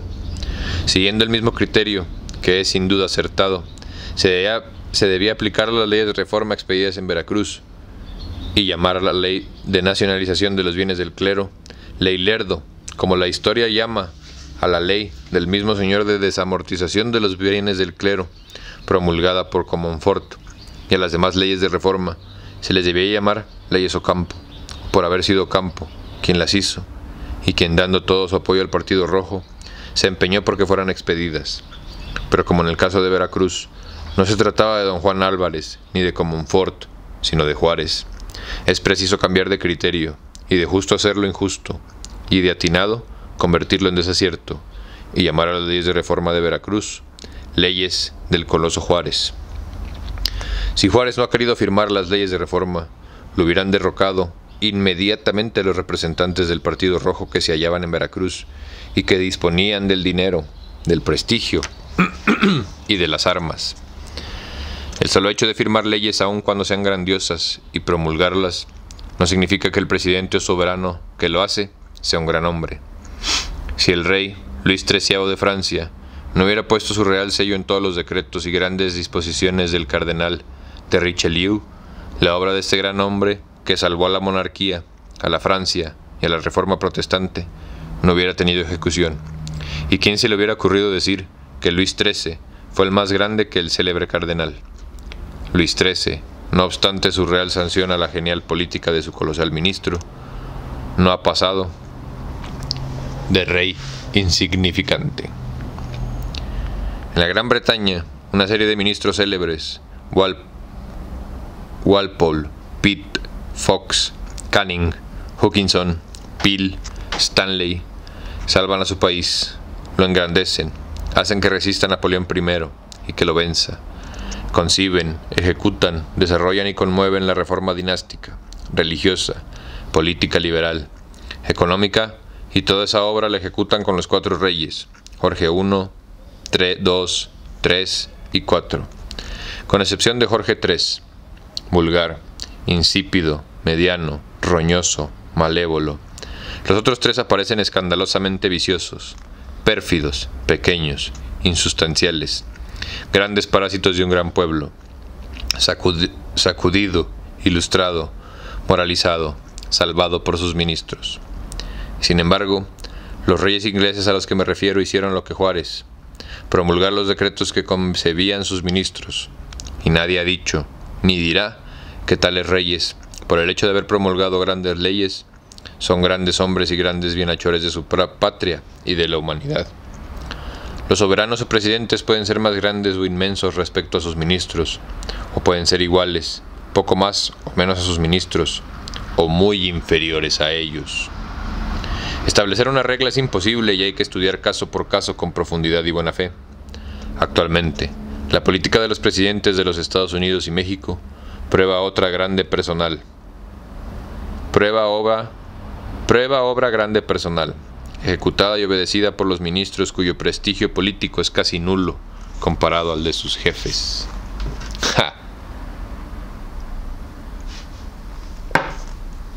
Pero nada hay que impresione tanto para defenderse de miserables y preocupaciones, de miserables preocupaciones. Y elevarse en el deber de alcanzar y sentir la verdad, como la historia de la reforma en Inglaterra. El gran periodo reformista de Inglaterra tuvo lugar durante el reinado de Carlos II.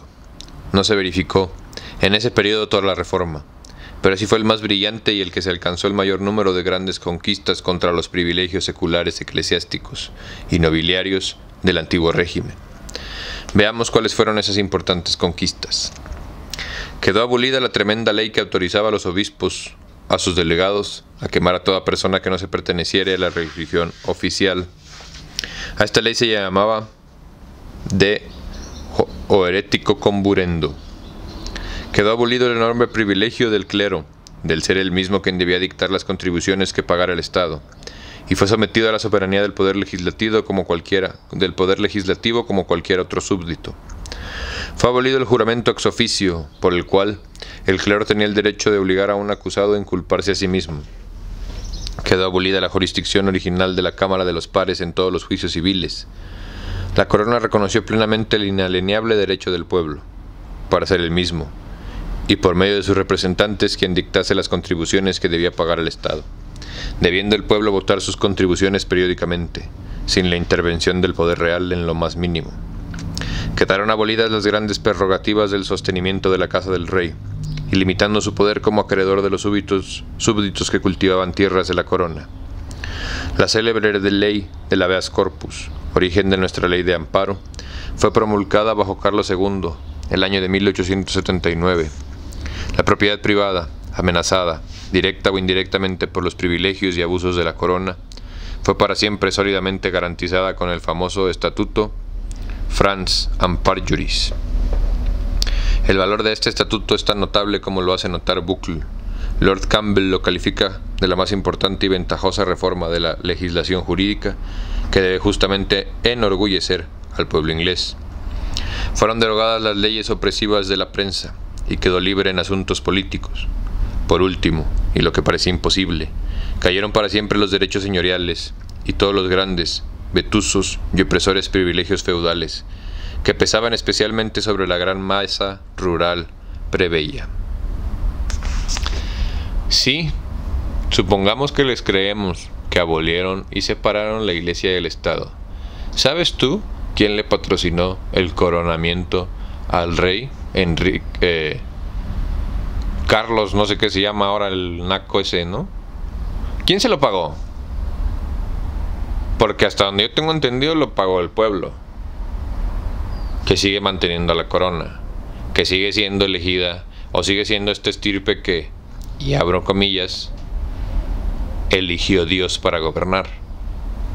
Entonces, Háganle así a mis testículos cuando me platiquen de la separación de la iglesia y el Estado en Inglaterra y en México.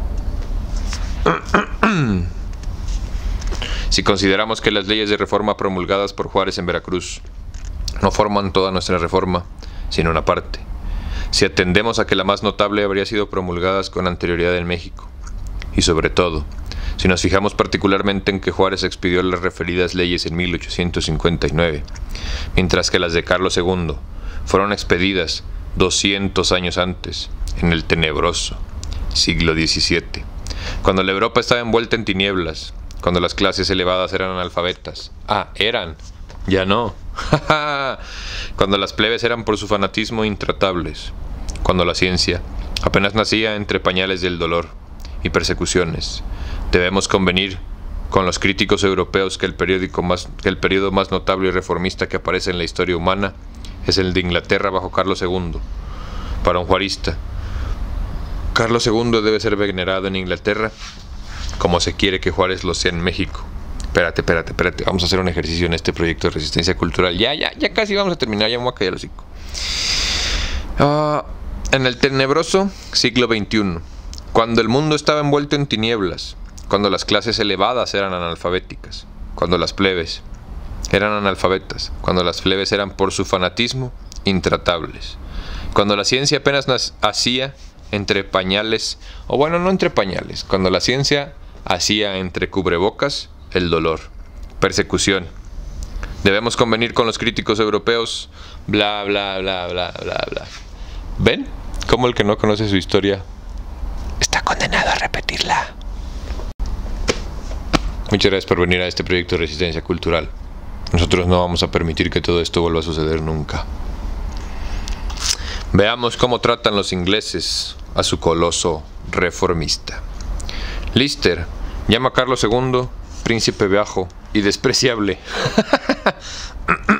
Fox, que es inglés, no el naco ese de la política mexicana. Lo considera indigno del recuerdo de un hombre honrado. Bueno, ahí sí podrían compartir. Fox y el otro Fox son indignos del recuerdo para un hombre honrado. No puedo copiar lo que de su soberano reformista dice Burnett, por temor a ser denunciado por ataques al pudor social. Estos escritores no son tradicionalistas, muchos ingleses, enemigos de un gran reformador. Son por el contrario, partidarios de la reforma y se enorgullecen de su establecimiento. Buckle, el más eminente de los críticos britones, dice, Carlos II, el rey más detestable que ha tenido Inglaterra. Política y moralmente se podría encontrar en este gobierno todos los elementos de ruina, de debilidad y de crimen.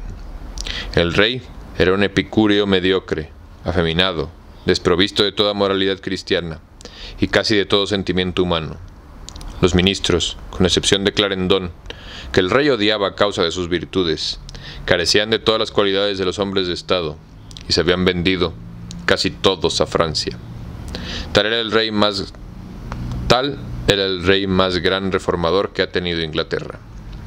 La historia de Inglaterra, como la de toda la humanidad, prueba que el soberano o jefe del poder puede ser lo más despreciable del mundo y promulgar las más grandes leyes, sin que en este acto le dé lustre alguno.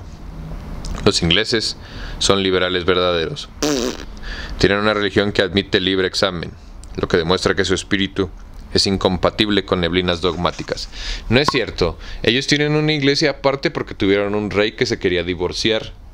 La iglesia católica romana no lo permitió.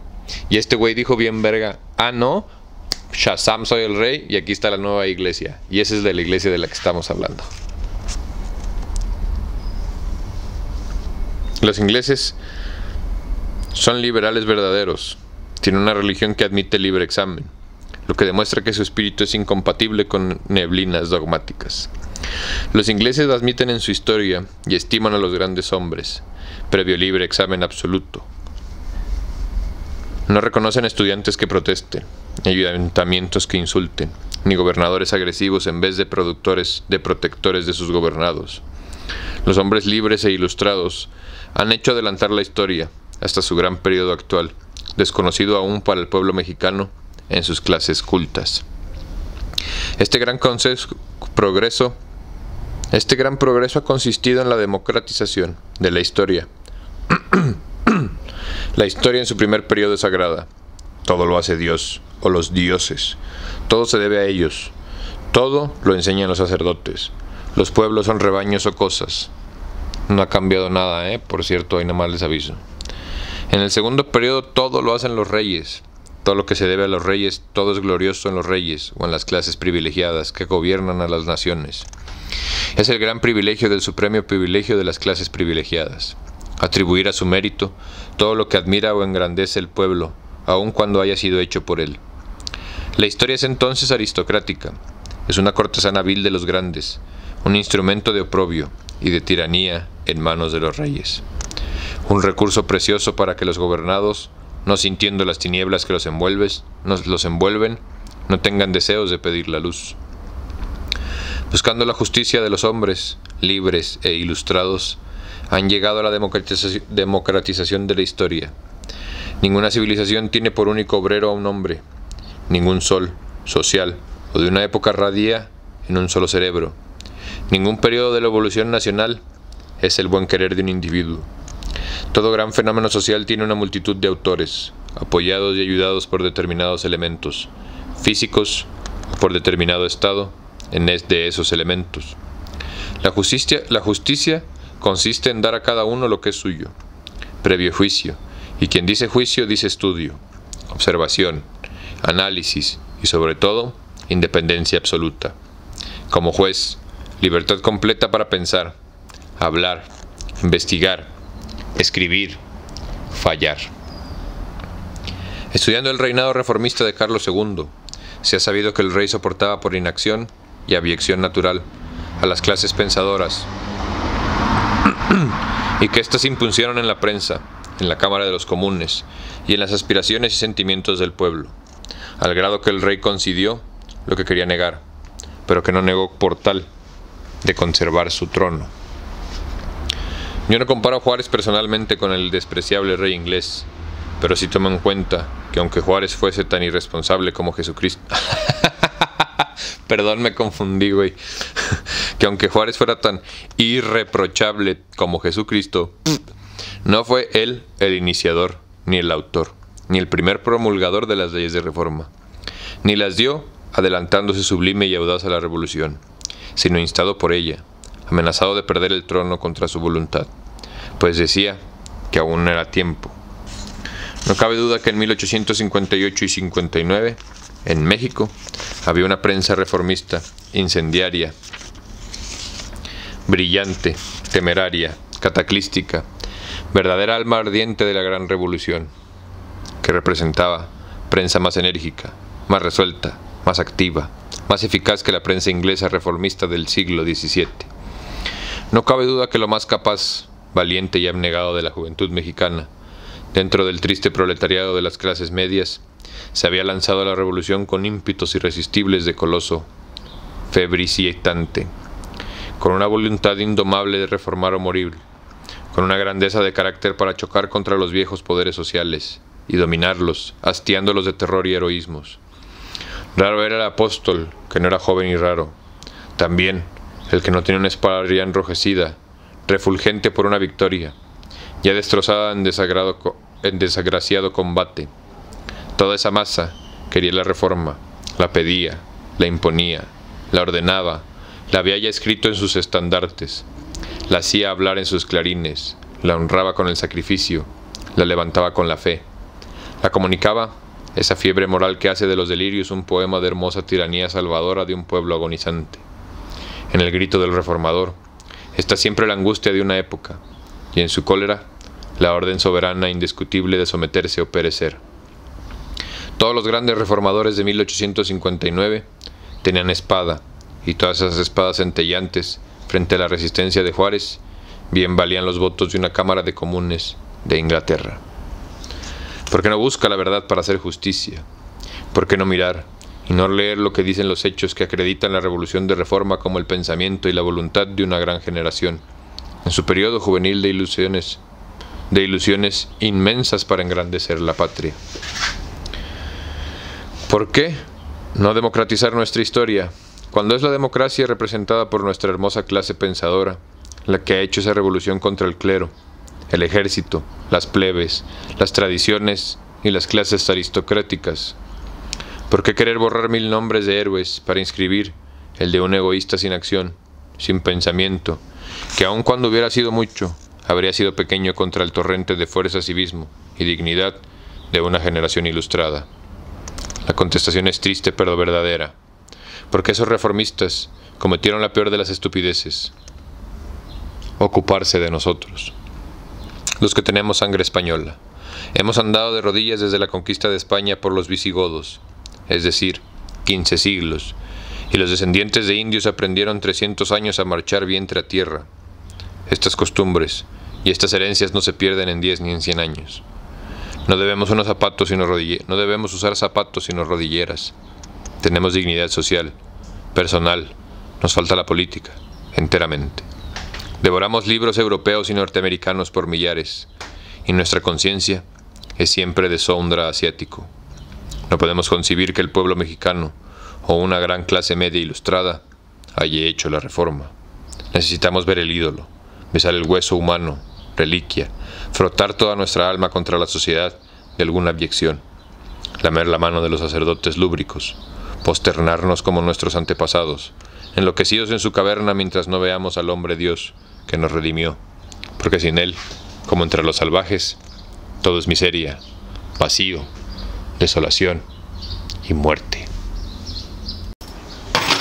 Uy. Ya andaba tirando mi café con con el perro, dijeron las niñas ahora.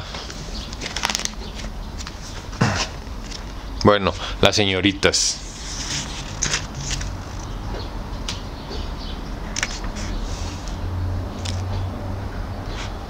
Pretendemos ser demócratas y no podemos pasarnos sin una historia aristocrática, o sea, sin la cortesana de los grandes. Todavía peor. Exigimos nuestra historia sagrada. Aspiramos a ser individualistas y gritamos como histéricos poesías de la Edad Media cuando se juzga a Juárez, ignorando que el individualismo es la soberanía del pensamiento individual para juzgar, denigrar, desconocer a hombres y dioses, doctrinas y religiones, aurolas y altares, guitarras y tabernáculos. Sin embargo, de este espantoso aspecto nacional hay posibilidades de salvación.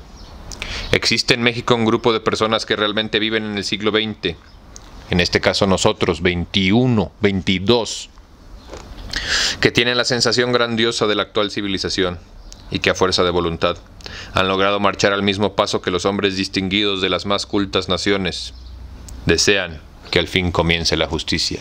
A huevo marchamos al mismo nivel que los mayas y los mexicas y los toltecas y los olmecas. Hay que presentar al pueblo mexicano la verdad. Y si la rechaza, presentársela de nuevo. Y si la vuelve a rechazar, vuélvesela a presentar. Censurando su barbarie por amor, a mentiras que producen la despreciable flatulencia moral, y haciéndole ver que solo la justicia puede elevarlo al pueblo civilizado y hacerle digno de sacrificios de los hombres grandes de México, han hecho por su progreso. Para todos los que se quejan por mi forma de dar comentarios, ahí está, ahí está, ahí está. A mí me mandaron del más allá a hacer esto, cabrones. El fallo de la justicia es, debe llamarse, a la abolición del derecho divino como origen del gobierno, Ley Morelos, a la abolición del pago forzoso legal del diezmo a la Iglesia, Ley Gómez Farías, Quintana Roo, a la abolición del Estado, para sostener la irrevocabilidad de los votos monásticos, Ley Quintana Roo, a la supresión de la universidad y establecimiento de la instrucción pública bajo la dirección del Estado, Ley Gómez Farías, Quintana Roo. Quintana Roo aquí todavía es una persona, ¿eh? Quintana Roo, como lo conoces, todavía es parte del estado de Yucatán. Trucha.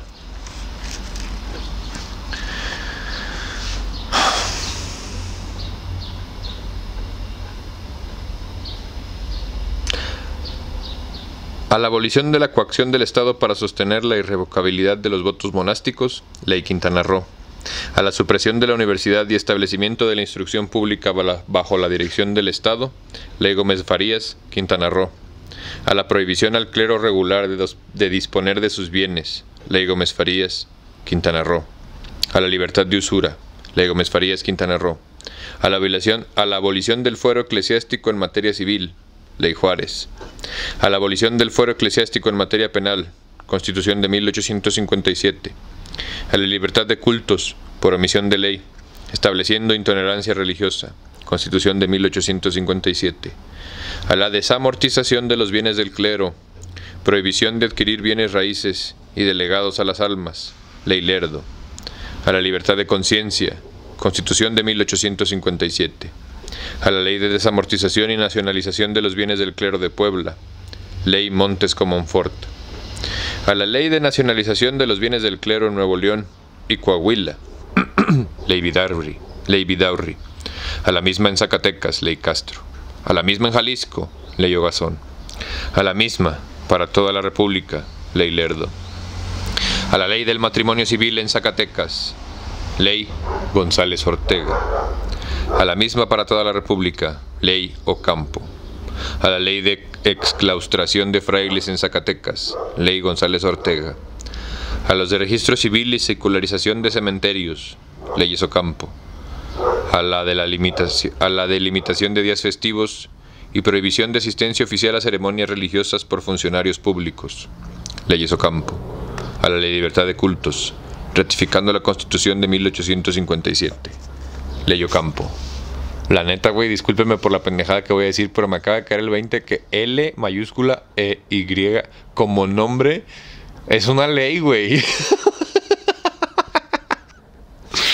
Perdón, la neta, no me quiero burlar de nadie, ni de los que se llamen así, pero güey, qué bonito nombre tienen, constitucional. se necesita sufrir todo el deterioro mental que ocasiona una fanatización aguda o intentar transformar la historia en, farsa final de maroma de arrabal, para ver, para ver en el Juárez de Veracruz un coloso, y sobre todo un coloso colosal, como el que se arroja a la estupefacción de los mexicanos cultos cada 18 de julio. El papel de Juárez como reformista es tan detesto es tan modesto y de color tan pálido que se confundiera fácilmente con el de una nulidad si no existiera verdaderamente la ley Juárez que abolió a medias los fueros eclesiásticos. En mi libro, El verdadero Juárez, aseguré que en la reforma el papel de Juárez había sido importante aunque inferior al de Degollado, porque conocía de la historia de la reforma lo vicioso y falso que se enseñan a los cultos de México. Pero al hacer un sólido estudio y profundizarlo hasta donde he podido hacerlo, me he encontrado con la obra de Juárez bastante infeliz para calificarla como sublime. Cuando hago mi análisis, obro resuelto a ir lógicamente hasta su última consecuencia. Yo creo que sí sabía él, ¿no? Como que el escrutinio y el ataque que iba a recibir. Porque no sé, la verdad no he buscado nada de Bulnes, me he esperado. Como que, pues güey, ya vamos a acabar el libro, o sea.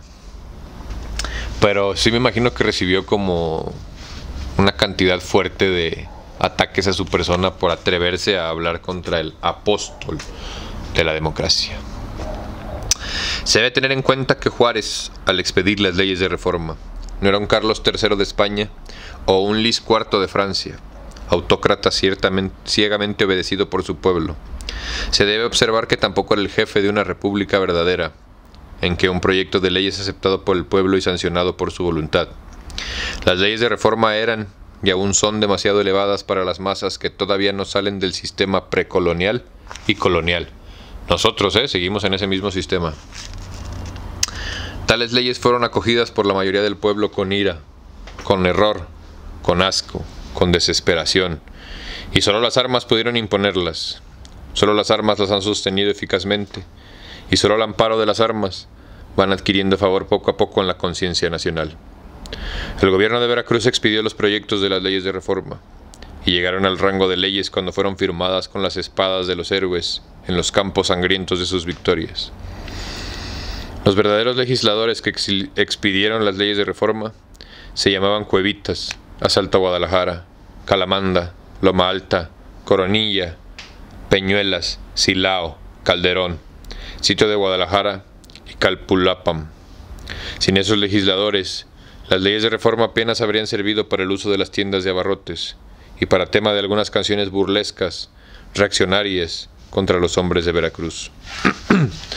no es posible negar que el primer lugar en la guerra de reforma lo debemos dar a los guerreros, no a los que presenciaron en cómoda y buena lumbrera la gran corrida sanguinaria en donde se lidiaba la tradición con todas sus furias.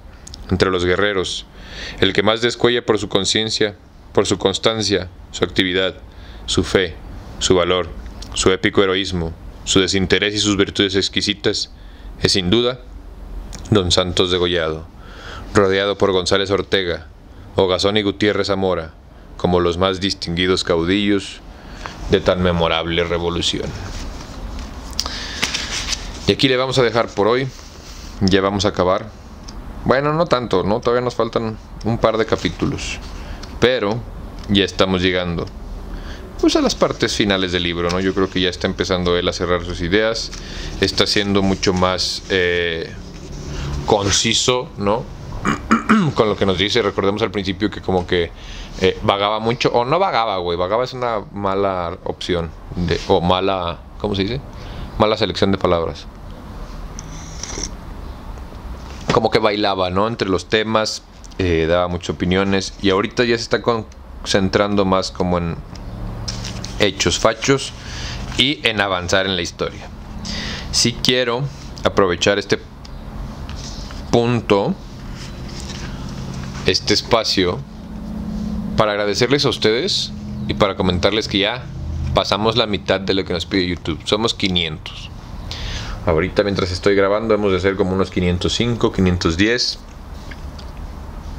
Y cuando tú lo veas esperamos que seamos un poquito más. La verdad les quiero dar las gracias a todos ustedes que nos escuchan y que nos acompañan cada dos días en este periodo de resistencia cultural. Les quiero compartir que después de este libro voy a tener uno que eh, tuve que regrabar, ¿no? Pero que decidí grabarlo en este formato porque me parece un libro muy interesante y que después estoy leyendo ya La Comunidad del Anillo, que también ya estoy grabando ahorita mientras platicamos. Este, en este proceso como atemporal, ¿no? La verdad nos falta, por lo que veo, como una semana, 15 días para acabar todavía el de Juárez.